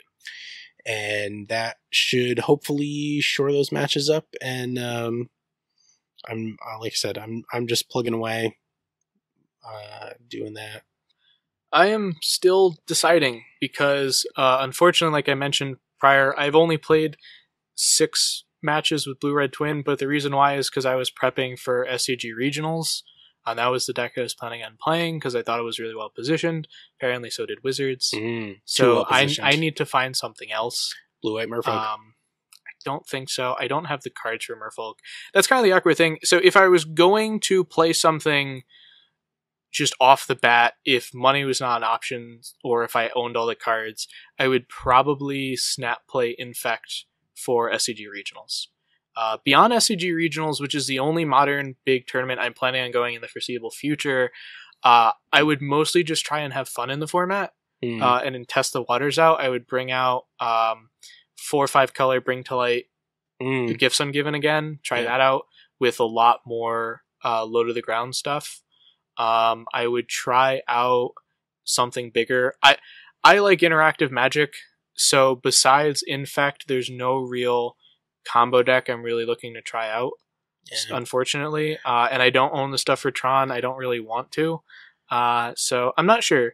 Uh, Shaheen Soorani was tweeting before the show, and I don't have an answer yet. I guess I can check right now. He is like nine and two with a Jeskai control featuring tons of planeswalkers deck, and I'm interested in that. I'm interested Okay. in something Jeskai because I feel like Jeskai has a lot of the tools to beat the early game decks of Affinity, Mhm. Burn. Like if you go up to four Lightning Helix and Right. keep four bolts and four paths, now with when I played the deck of Jeskai Flash, I had five counter spells, two mana Mhm. counter spells, two cryptic commands, four bolts, four paths, four lightning helix. With that as your core, with four snapcaster mages to get them all back, you are very good against in the early game. And if you have a fast enough clock with three powered flyers, you can probably race Tron. Uh, and so that's what I might end up going with for SCG regionals. Well, that's I for the long term, I don't know. see. I to me that's like the Jeskai Stormchaser Mage. Like you go or restoration like Swift Swift Spear, Storm Chaser, Yeah. Snapcaster, and then question mark. I guess Eldrazi Displacer slash Flicker Wisp slash. I don't, I don't like. I think if you're going blue red, I don't know if you need to go Jeskai. You just need to make sure you have a lot of disrupt. Like the gut shots are very good in that deck because it helps against the one toughness stuff of an affinity. I, I uh, think and you need. I think you need Lightning Helix though. That that's. Lightning Helix is really good, especially against burn, and especially if you are like shocking yourself with Phyrexian mana. But so I'm not sure where I'm going to be in the long term. Um, SCG regionals, I don't know. I'll probably live tweet it to be honest. Like I'm definitely going. You need to play a don't deck that has Phyrexian. Metamorph in it. I don't think so. I don't. I don't want to really. They they play their Ulamog, boom boom, and then you go Phyrexian Metamorph, Ulamog. but I don't. It enters play. I'm not going to get the like vindicate triggers. Who That's cares? the problem because I can't exile their Ulamog. And then you I just need mill something twenty. that like. So, all right, so play Goryo Footsteps. I have all the stuff for that Protean Hulk deck. I don't. I don't know if I want to play Protean Hulk either. I'd rather just play Jeskai with a bunch of Stony Silences and other things. Yeah, Lightning Helixes Uh, and Storm Chaser Mages. Yeah, let's see. Let's see what Shaheen is saying. I can't believe someone asked him why he's not just playing the Eldrazi deck. Not my style. If I played it, then the bad guys win. But yeah, so the uh, literal bad guys. the literal bad guys. Uh, so yeah, he played uh, a Jeskai featuring lots of planeswalkers. He's currently nine and two, uh, and both losses were to Mono Black Eldrazi. So, and one of the matches apparently featured him crumble to dusting and then Snapcaster crumble to dusting and still losing. So I feel like there was more to that.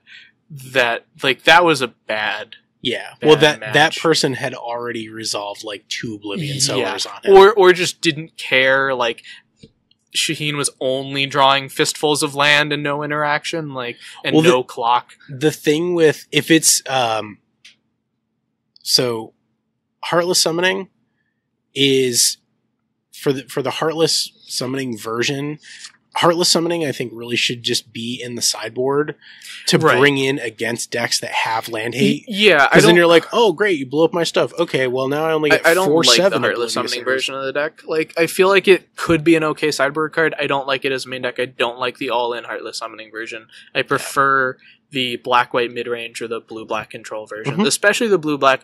The more after I saw the deck on camera playing the blue one that makes scions when it comes into play, I like that way better. yeah Uh, and I think that that version with Ashiok is just going to be the correct version to play. Yeah. Well, and and I did like I I put some time into playing the blue black version Mhm. and I can tell you with 100% assurity that playing for main deck Leyline of the Void is the correct move for that deck. Yeah, because too. it takes out all of the like it, it frees up six slots in the deck. Well, the the problem is you no longer draw a card off a relic, and that was actually also really relevant. Well, you can still that's the thing. You can still play Relic. I'm not saying Right. you don't play it, but you can play two of them and you don't have to play Scrabbling Claws. Well, I, I think yeah, the deck should cut Scrabbling Claws. That's what I kind of did with Ashiok. right.